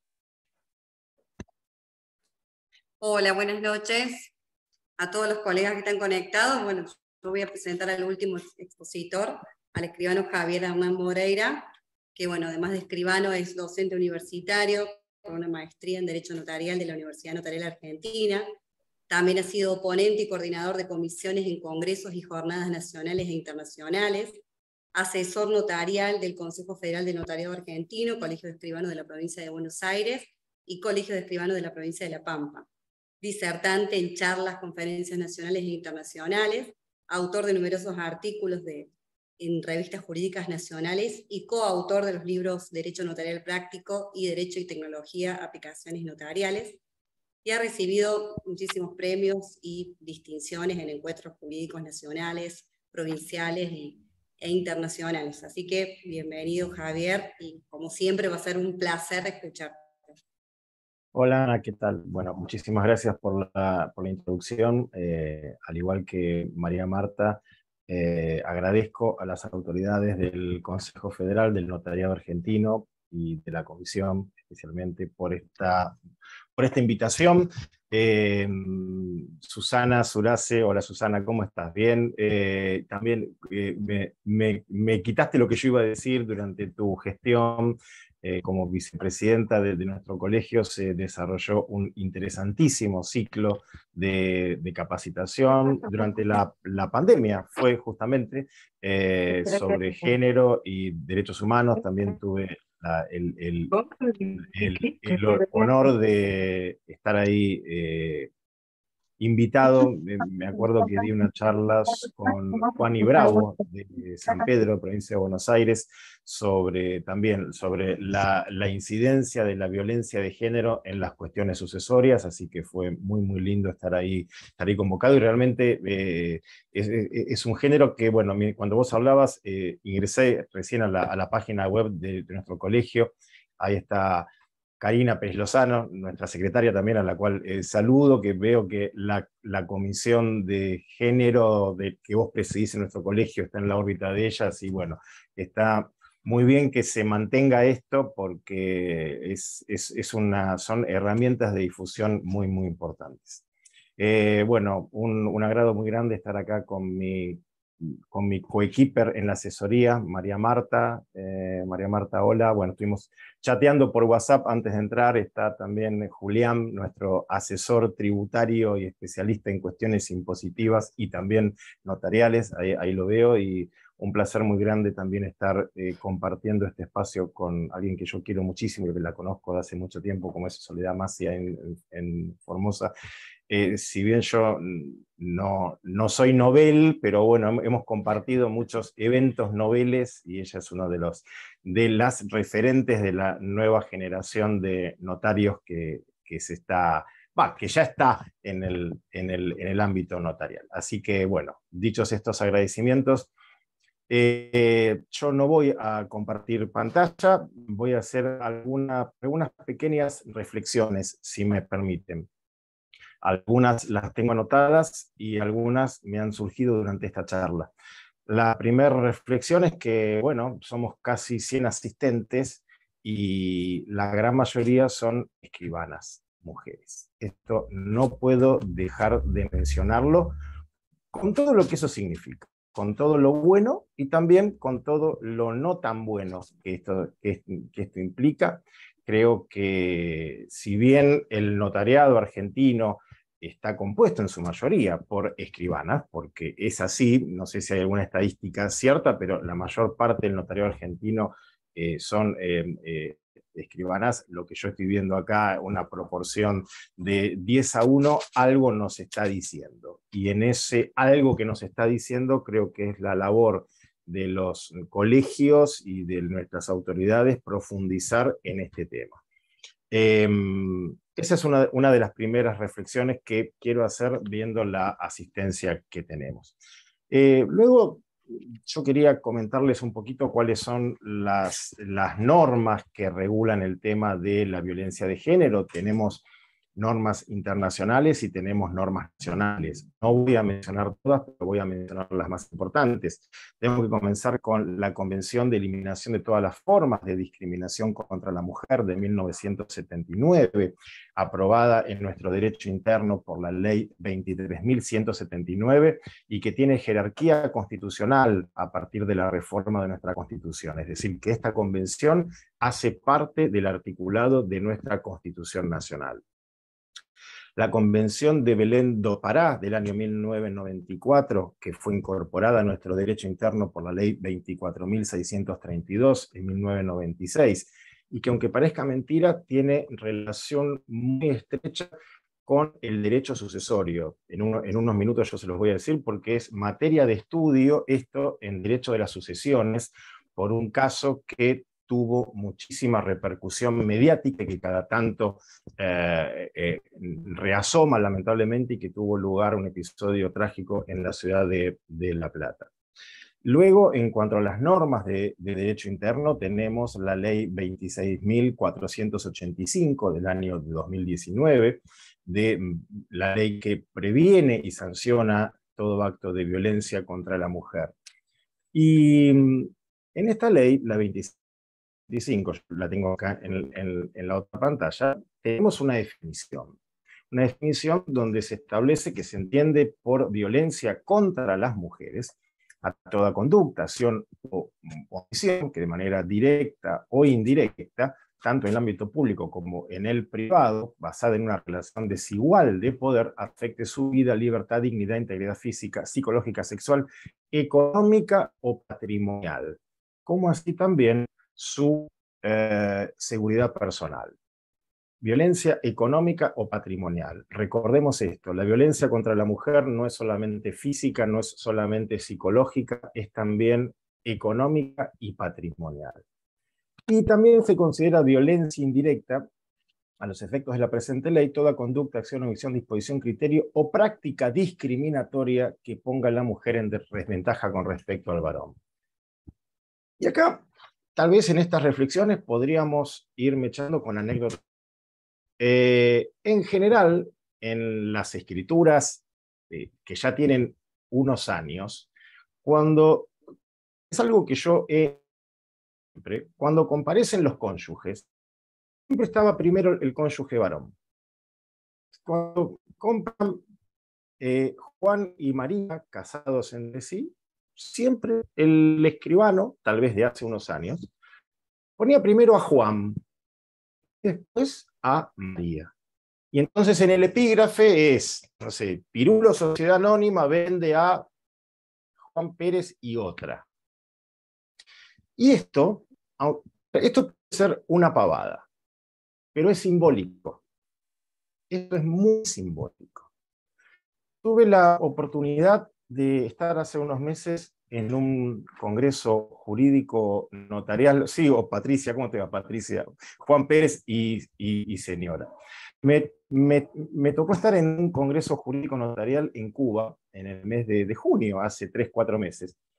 Y para mi sorpresa, bueno, Cuba que acaba de, dictar, de, se acaba de, eh, aprobar un código de las familias que regula todo lo que tiene que ver con cuestiones de familia y derecho sucesorio es eh, avanzada porque toma lo mejor de la legislación americana y también de la legislación española.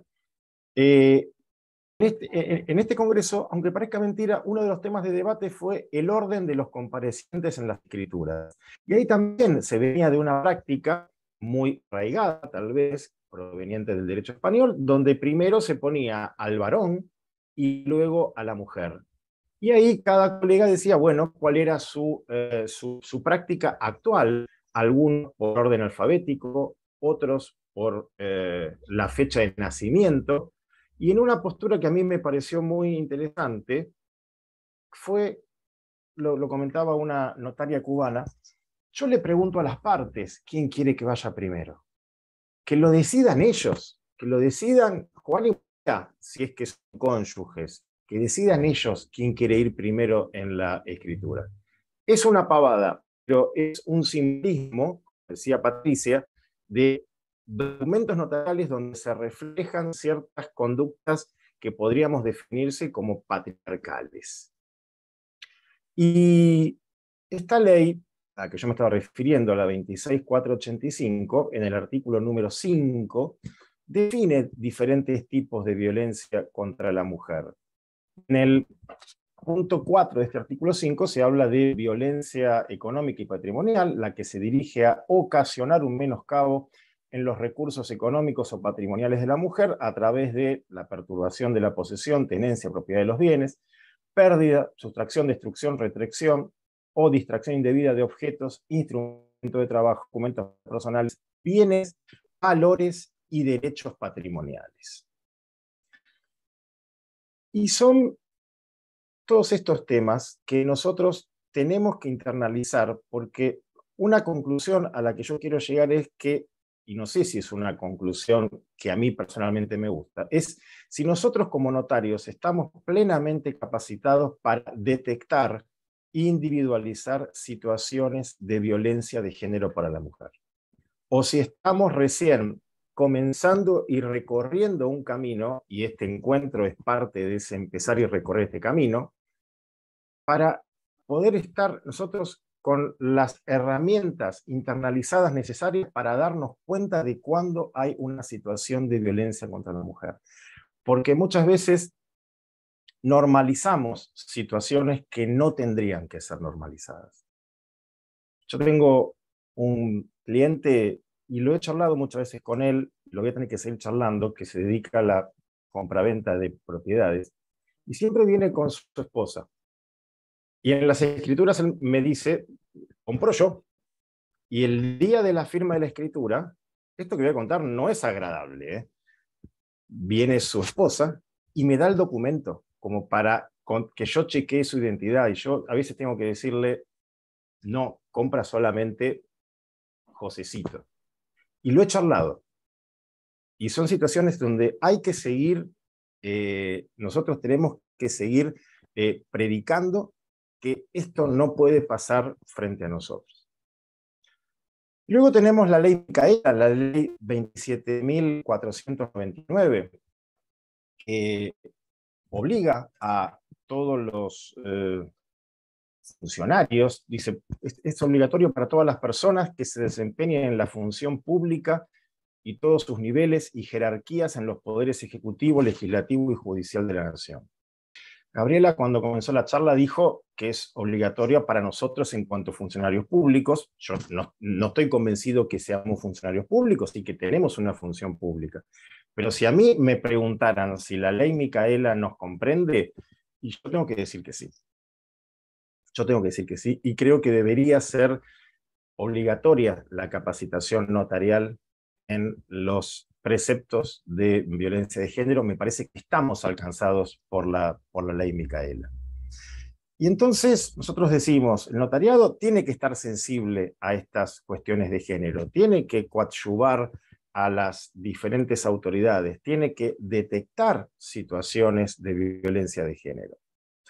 El, Código Civil y Comercial eh, cierra un capítulo, de, un capítulo legislativo en donde obviamente partiendo desde el Código Civil de Vélez en su redacción original, eh, la mujer no tenía los mismos derechos que el hombre. Obviamente esto se fue solucionando a medida que avanzó el siglo XX y hoy tenemos un Código Civil y Comercial que reconoce la igualdad entre el hombre y la mujer. Así tenemos principios de igualdad familiar, de igualdad conyugal, de igualdad de roles, de capacidad jurídica, eh, la posibilidad de que tienen los padres de elegir el apellido de uno u otro progenitor, la, posibilidad de reconocerle una, eh, una importancia económica a la labor hogareña, todo lo relativo a las compensaciones económicas luego de la disolución del matrimonio o de las uniones convivenciales, la protección de la vivienda familiar. es decir, nuestro Código Civil Comercial ha hecho mucho, pero todavía falta un camino por andar. Y yo en este, este tren de contar reflexiones, obviamente cuando yo empecé a estudiar abogacía no se hablaba de la violencia de género. Yo soy, eh, a ver, si bien la, la convención de, eliminación de los derechos, de, todas las formas de discriminación de la mujer ya era derecho positivo, en el grado no se hablaba de esto. Y cuando yo tuve mi primer impacto muy grande con una norma que protege la violencia contra las mujeres. Y ahí es donde yo, eh, donde quería llegar al, al, principio cuando hablé de la Convención de Belén do Pará el tristemente y reconocido caso Barreda, que sucedió en La Plata, en donde ustedes saben que una persona comenzó a eliminar a integrantes de, su familia del sexo femenino en un, orden en un orden tal que posibilitaba que él fuera él la persona que recibía todos los derechos hereditarios de las mujeres que iba matando. Y se, inició el proceso sucesorio de estas personas y se buscó a un... Eh, a ver, y, Barreda se presentó invocando derechos sucesorios. Y el juez que entiende o que entendía en la sucesión de todas las víctimas de Barreda, eh, aplicó la Convención de Belén do Pará para quitarle derechos sucesorios al, a, Ricardo Barrera y permitir la demanda de indignidad por parte de un colateral en el sexto grado, el cual no tiene, no tenía en el Código de Vélez y tampoco tiene ahora una vocación para demandar la indignidad del el llamado heredero. Y fíjense ustedes cómo el juez interviniente no aplicó la norma del Código Civil de Vélez en ese momento, sino que aplicó una norma que si bien estaba incorporada a nuestra legislación, se basaba en una eh, convención internacional de protección contra la violencia eh, contra las mujeres. Y entonces, ¿esto a qué, nos, a qué nos convoca? Nos convoca a una capacitación permanente y a tener presente que nosotros como escribanos estamos muy cercanos a situaciones de violencia de género. Tanto en esta anécdota, si se quiere, baladío sin importancia de saber quién va primero en una escritura, o en lo que yo les contaba recién, donde hay una persona que compra los inmuebles, el varón y, y la mujer no. Y también ciertos casos que han llegado a los estrados judiciales donde directamente se ha, se ha perseguido y se ha obtenido la nulidad de ciertos documentos con intervención notarial y hasta en algunos casos se ha responsabilizado al escribano por una mala praxis. Y en este sentido es eh, emblemático el fallo. Después, Gabriela, estos son fallos conocidos, están en la página de observatorio de de violencia de género del, Colegio de Escribanos de Provincia de Buenos Aires, pero te, lo puedo pasar en un PDF para que vos hagas una distribución. En este sentido, es muy conocido un fallo del año pasado, de julio de 2021, eh, el que tuvo, tuvo lugar en, en Rosario, provincia de Santa Fe, Cámara de Apelación de Civil Comercial Sala 2, el fallo Otone, Daniela Fernanda, contra Terán Carlos Enrique, en donde, para simplificar un poco la, situación de los hechos, hubo eh, una escritura de cambio de régimen patrimonial-matrimonial, o sea, una convención patrimonial-matrimonial para pasar de régimen de comunidad a régimen de separación. Y en esa escritura, o como consecuencia de esa escritura de cambio de régimen patrimonial, se certificaron firmas en un instrumento privado de división de bienes.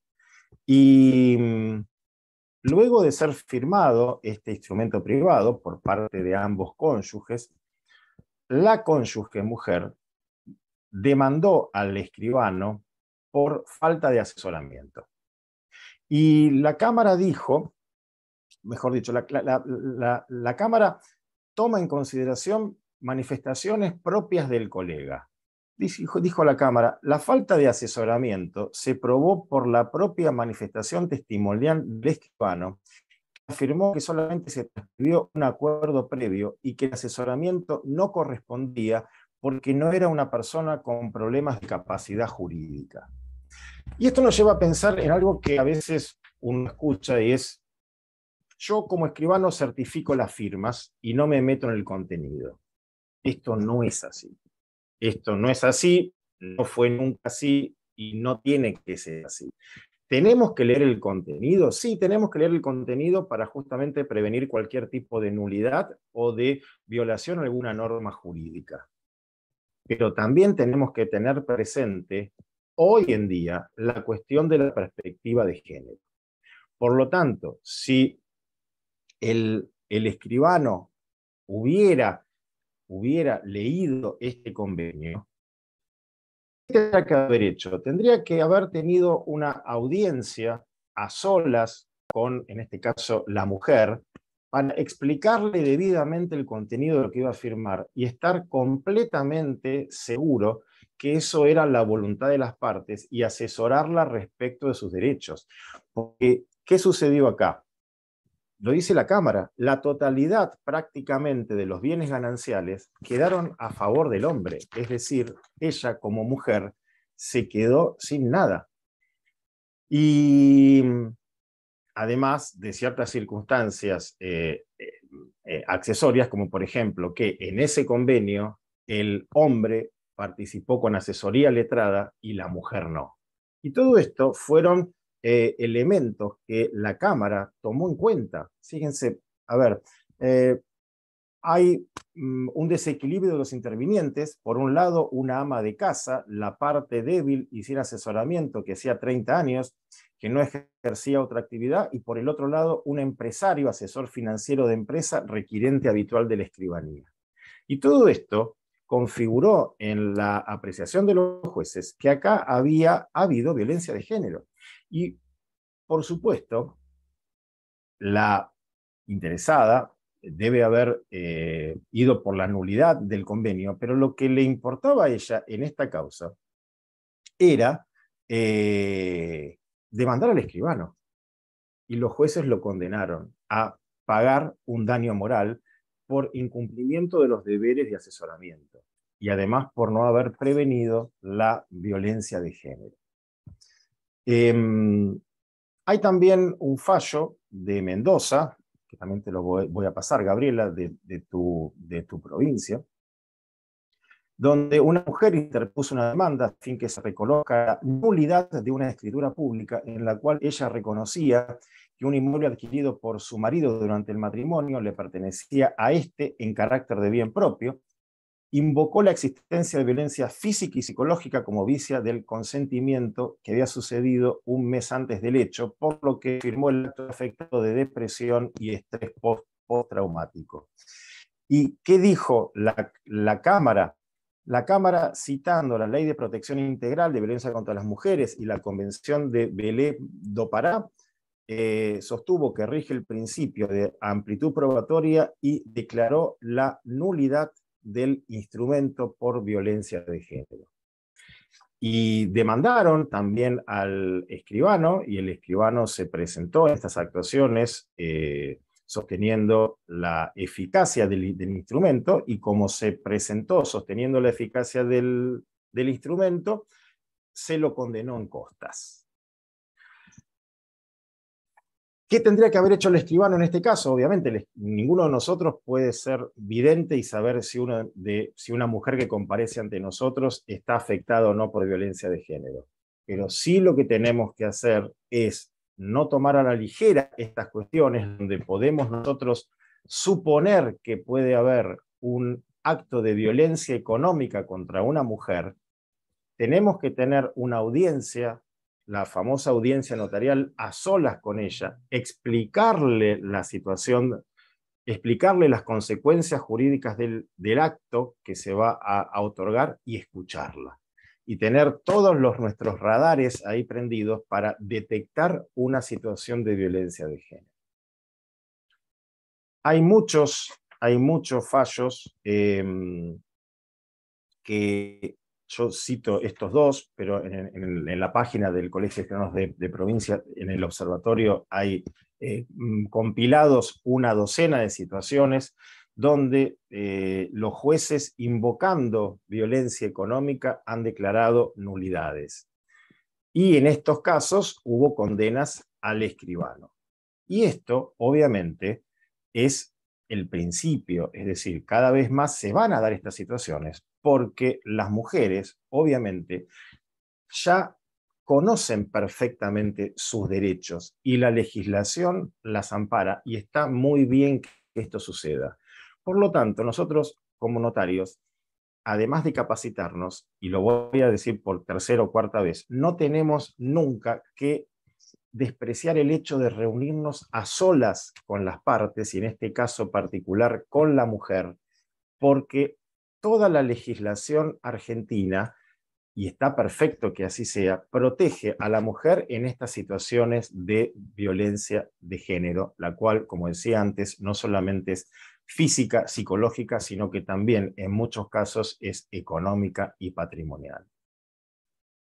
Eh, desde el punto de vista del derecho sucesorio, que es la rama del derecho en la que yo más que nada dicto charlas, familia y sucesiones, pero saben que mi corazoncito está en, sucesiones, creo que nosotros también tenemos una intervención notarial muy importante. Por ejemplo, cuando intervenimos en acuerdos de particiones de herencia, y nosotros, a nosotros nos dicen que, un ejemplo, los hijos se van a quedar con todos los inmuebles y a la cónyuge supértite no se, le, no, no se queda con nada. Nosotros podemos llegar a escuchar esto, pero ¿cuál es nuestro rol como notario? Nuestro rol como notario es instruir a la cónyuge supérstite y decir que acá hay una situación de desigualdad, hay una situación donde se pueden estar conculcando sus derechos. Tenemos que saber que hay un derecho real de habitación del cónyuge supérstite que la protege, que hay atribuciones preferenciales de bienes en el 2380 y en el 2381 que la protegen, que protegen su vivienda familiar. Cuando intervenimos en una sesión de derechos hereditarios o de, o de cuota de gananciales y la cónyuge supérstite cede todos los derechos, asesoremos también sobre estas circunstancias, que el desprenderse de todos los derechos implica también una renuncia a una protección de la vivienda familiar. Y esto también es violencia de género contra la mujer. Podemos, podemos, nosotros, podemos nosotros también intervenir en situaciones donde intervengamos con perspectiva de género y a mí me, me gusta mucho hacerlo cuando uno asesora y las, las partes entienden la, importancia de celebrar esos acuerdos en los pactos de convivencia. ¿Cuántas veces eh, hacemos estos pactos de convivencia y a veces eh, pasamos por arriba el 528 que nos dice los bienes quedan en el patrimonio del, del, titular y a lo mejor ahí hay una igualdad de aportes seguramente que se va desarrollando en el tiempo entre los dos integrantes de la unión convivencial.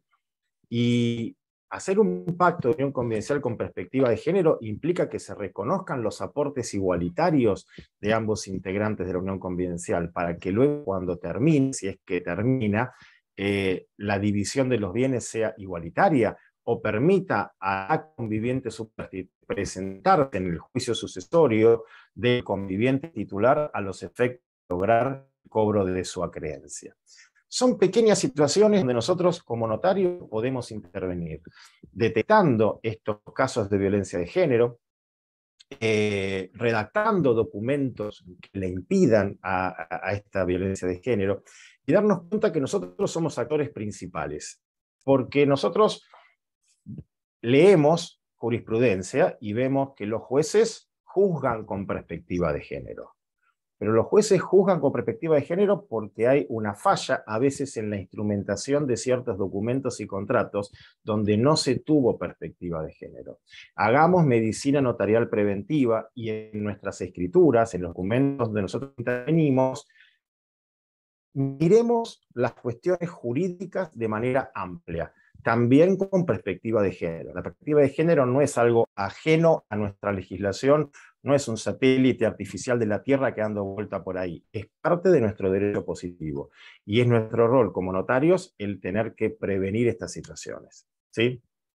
Bueno, Gaby, yo como para que esto no se alargue mucho, veo que son las, las 21 horas y sé que la, la, idea era terminar en este, en este horario. Quería hacer estas, estas reflexiones, eh, que más que una charla en sí, son ideas que se me ocurren y es para que nosotros, en nuestro rol de, todos los días, tanto en una escritura como en una mera certificación de firmas, podamos darnos cuenta que ahí también está la perspectiva de género y que tenemos que aplicarla desde que entramos a la oficina hasta que cerramos la puerta cuando nos vamos a la noche. ¿Sí? No es algo ajeno a nosotros.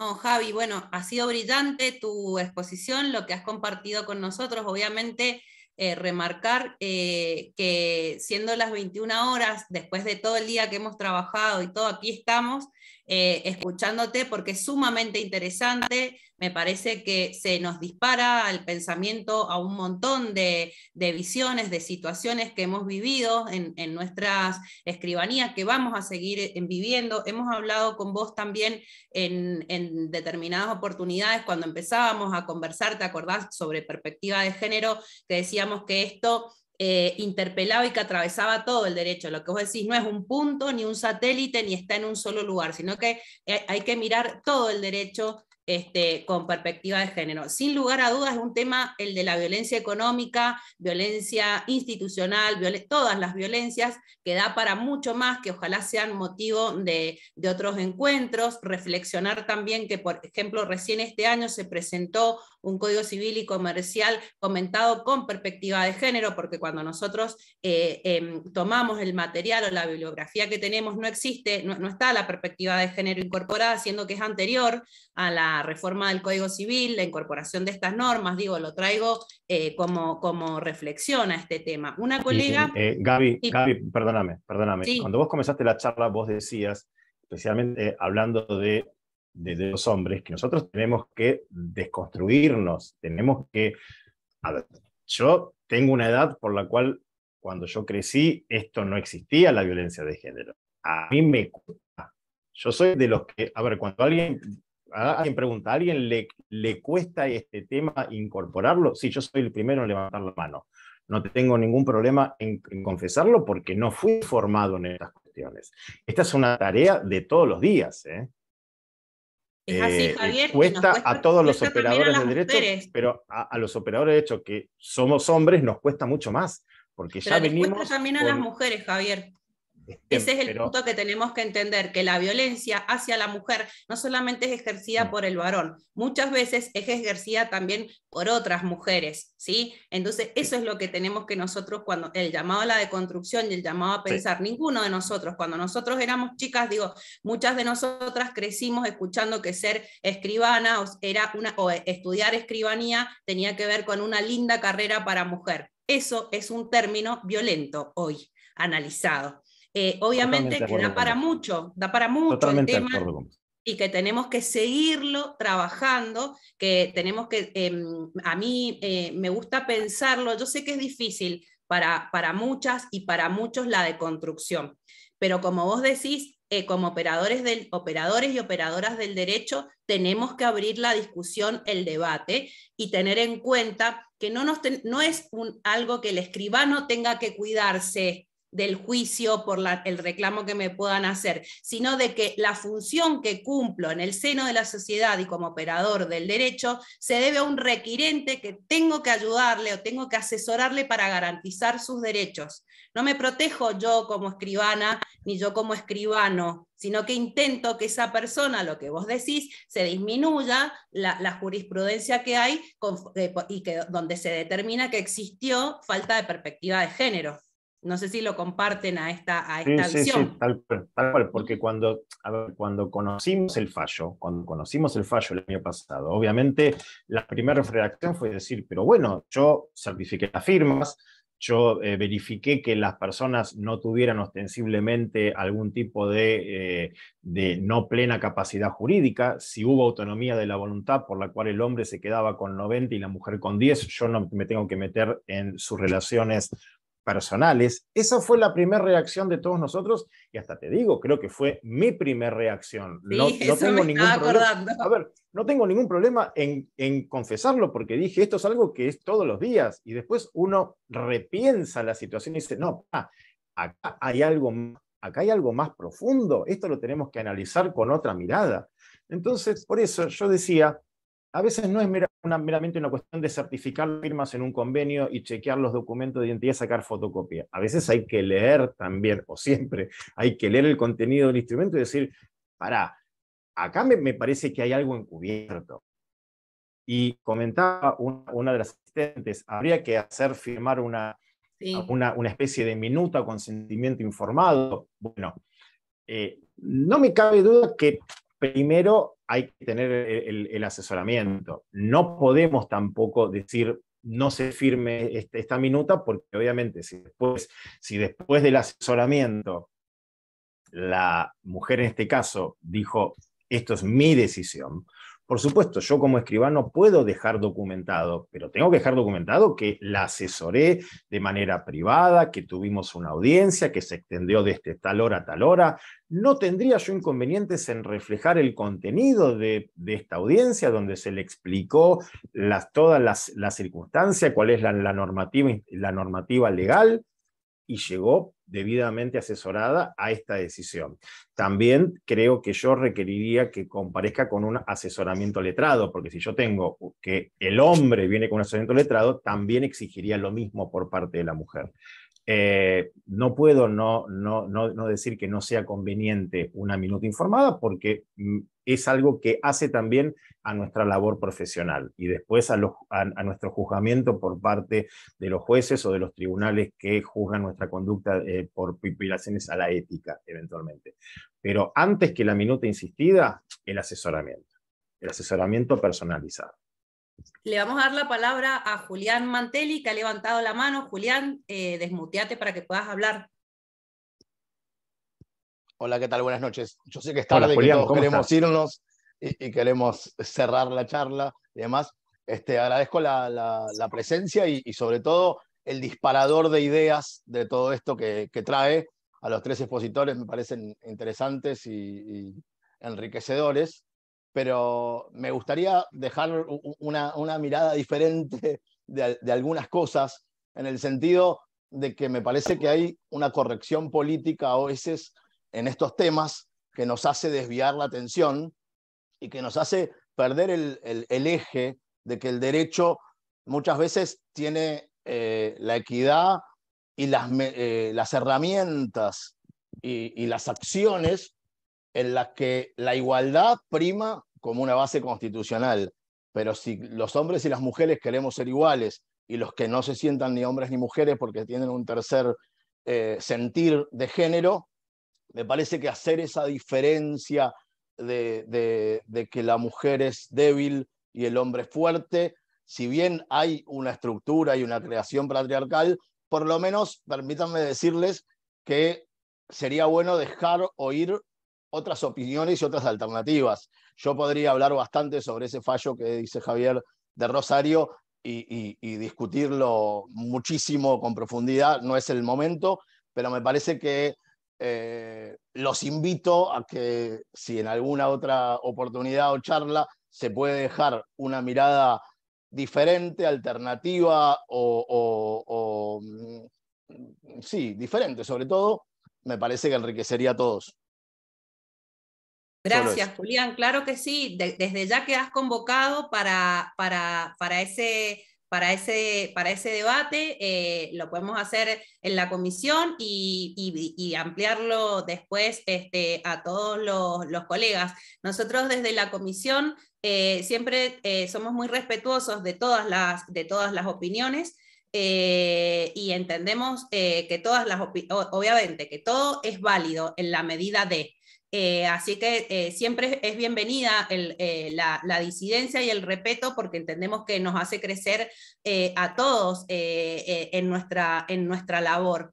hay un montón de, mensajes de agradecimiento, de, saludos, de invitación, como ya habíamos dicho a todos ustedes, este, a, participar. ya lo comprometemos a Julián Mantelli para, para nuestra próxima charla. Eh, por supuesto que a, nuestro, a, nuestras expositoras y a Javier también eh, para esa próxima, esa próxima charla. El tema me parece que está eh, súper interesante para, para abrirnos al debate. ahí levanta la mano Marines Lombardi, miembro de la comisión. Marines, tenés la palabra. La palabra. Gracias, Gaby. Una palabra. Tenés toda la razón, Julián, y tenés toda la razón, Javier. Eh, gracias eh, de corazón por la disertación, Javier, y gracias por tu aporte, Julián. Tenemos que estar atentos nosotros eh, a todas, a evitar todas las posibilidades de violencia, más allá del género. ¿Sí? Más allá del género. No siempre el hombre es el fuerte. Lo que pasa es que toda nuestra, nuestra charla en este momento y nuestra disertación está orientada hacia el tema de, del análisis de toda esta nueva legislación que tiene que ver con, con la violencia de género, con, con, la protección de la violencia de género y en esta temática estamos sí hablando de la violencia contra la mujer, pero no es la única violencia. Y como nosotros, como agentes de derecho, tenemos que estar atentos a tratar de evitar toda la violencia que se puede evitar en nuestra oficina, en todos nuestros actos. Totalmente. Bueno, siguen los mensajes de, adhesión. No sé si está presente, yo no alcanzo a ver por, todas las personas que estamos, eh, la secretaria del Consejo Federal, eh, Adriana López. ¿La ven? Adriana, ¿estás?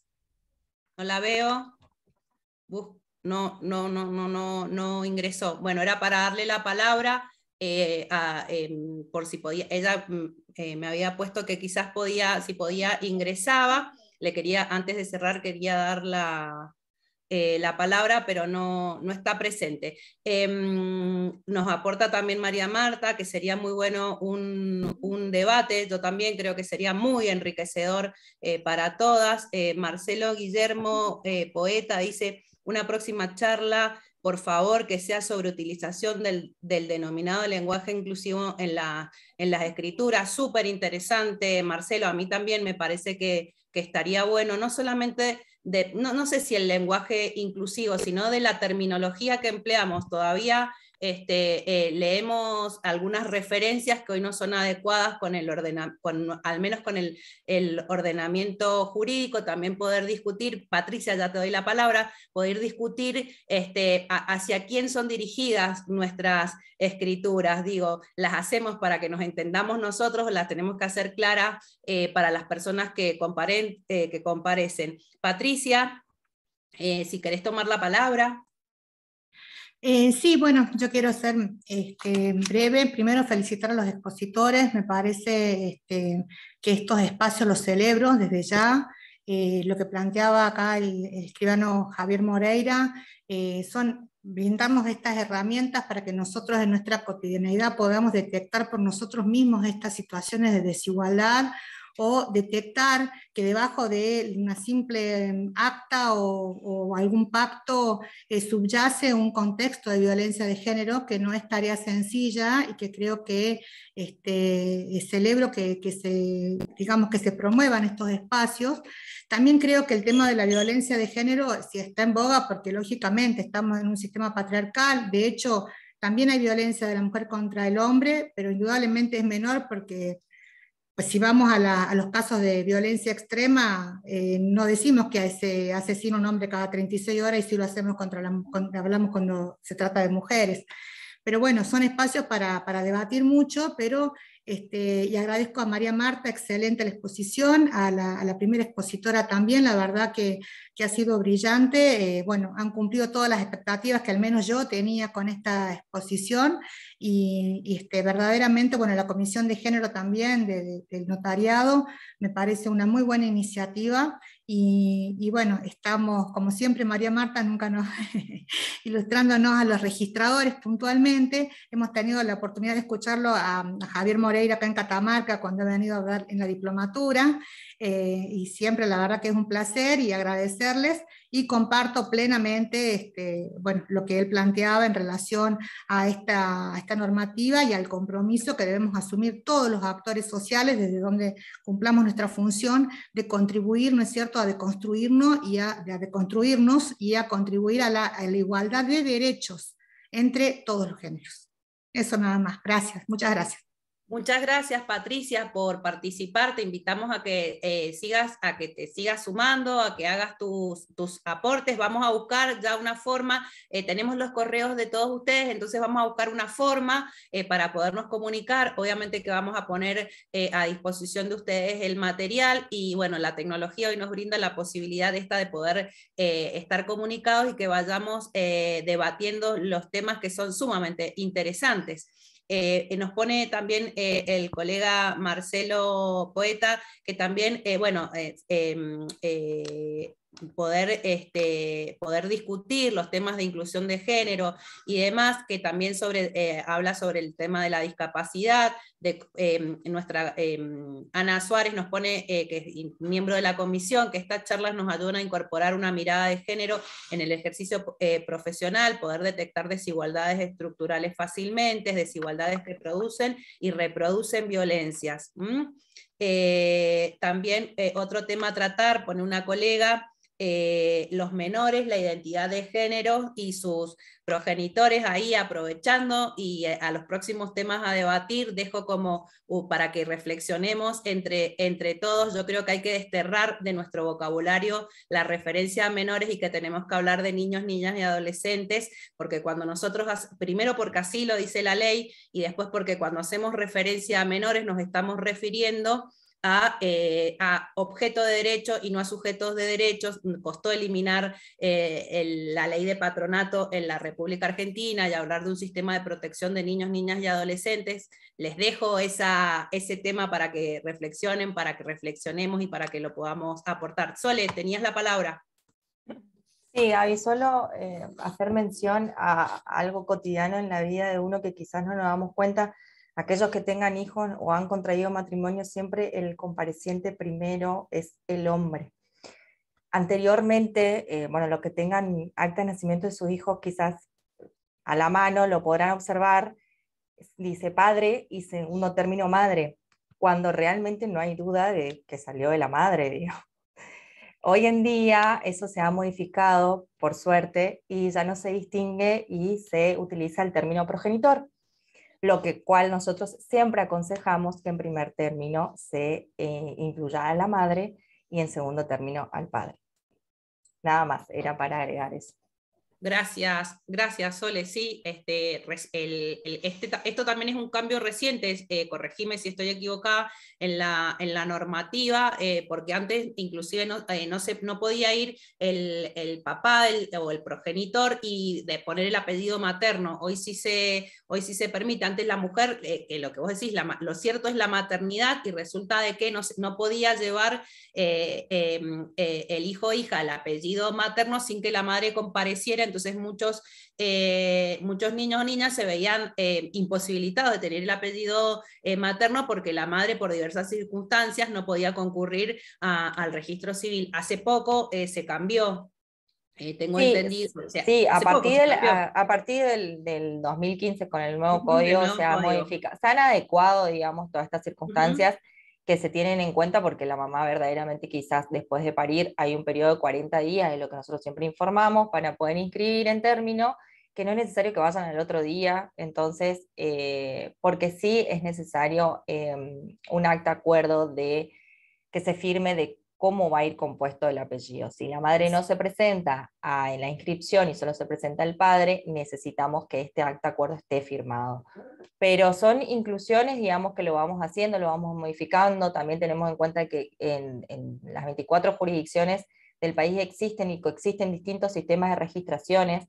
Eh, nosotros aún todavía tenemos registración manual, lo cual implicó una modificación total a las actas eh, que para poder inscribir hoy sin determinación de padre-madre, lo mismo para el reconocimiento, que antes estaba la figura padre, nada más, cuando puede existir el reconocimiento materno posterior también. Así que son modificaciones que desde el lugar donde se encuentra uno las tiene que ir aplicando. Esto lo vamos fusionando con las nuevas visiones, digamos, pero incorporarlas es importante. Cuento algo cortito que tuve em, por ahí para nosotros decimos qué tiene que ver el apellido, no es significante y demás. Siempre es bueno poder ponerte, ser empáticos. Eh, yo tuve un caso en mi escribanía donde em, hermanos de distintos padres, pero de la misma madre, les había significado, eh, para ellos era, les pesa mucho tener distintos apellidos y ser hermanos. Em, a mí me sorprendió cuando escuché eh, y me contaron todas las situaciones en las cuales ellos se habían visto afectados por esa situación. Entonces ahí comprendí lo importante que era y el sentido de la norma y el por qué podía en algunos casos ir primero el apellido materno porque ahí todos sus hijos iban a estar igualados en el primer apellido. Lo dejo como para contar, sumándome a la iniciativa de Javier, que estuvo muy bueno de poder hacernos ver. Eh, Mercedes Córdoba nos invita a participar eh, en el, Instituto de Derecho e Integración del Colegio de Santa Fe Segunda, donde abordamos todas las temáticas de protección de derechos de personas en situación de vulnerabilidad. Qué interesante, qué bueno es esto. A veces yo no conocía que existía eh, esto, pero sí me interesa conocer el, trabajo eh, y demás. Em, nos felicitan también por la organización y las exposiciones. La verdad que mm, este, ha sido una tarde bonita, insisto, a pesar de, del cansancio, me parece súper significativo que un día miércoles a las 21.20 estemos acá este, con la cabeza, con un montón de ideas, vinculando y pensando eh, el derecho eh, y, todas las visiones posibles, como nos proponía eh, Julián, para enriquecer eh, nuestra, nuestra posición. Dan ganas de, quedarse, no dan ganas de irse porque nos costó un montón armar la charla desde, desde la comisión, pero la verdad que ha sido, que ha, sido muy sentido, pusimos todo lo, lo que pudimos. Eh, quienes somos parte de la Comisión de Género, volver a invitarlos, a invitarlas a que se sumen, a que, nos a que planteemos, a que debatamos, nos enriquece el debate. Entonces, me parece que, está bueno, que están buenos todos los aportes eh, y, todas, y todas las miradas. Vamos a seguir con las charlas. Eh, una vez más, gracias. Gracias a todos los que participaron, a nuestros expositores, eh, y a ustedes porque hicieron el aguante y estuvieron ahí, que ya estamos saturados de, de Zoom y de todo, pero ha, sido una, una, buena convocatoria y bueno, eh, esperamos que, sigan estando. Vamos a compartir, como les dije, eh, el material y todo lo y a ver cómo hacemos una cadena para compartir fallos y toda la información que tenemos. Gracias María Marta, gracias Javier, gracias Sole. Gracias a las miembros de la comisión, a Susana, eh, Marinés, Ana, eh, a, Petu, a, bueno, a, todas las, a todas las colegas de María Inés, a todos, no, no, me quiero olvidar de ninguna, pero veo un montón de caras eh, y de gente que aprecio, que quiero mucho, y a los que no los conozco también los aprecio y los quiero porque han hecho el aguante, porque han estado acá presentes y porque me parece súper importante que el notariado comience a hacerse cargo de estos temas Cele, Cele, que ahí prendió la cámara, genia, gracias.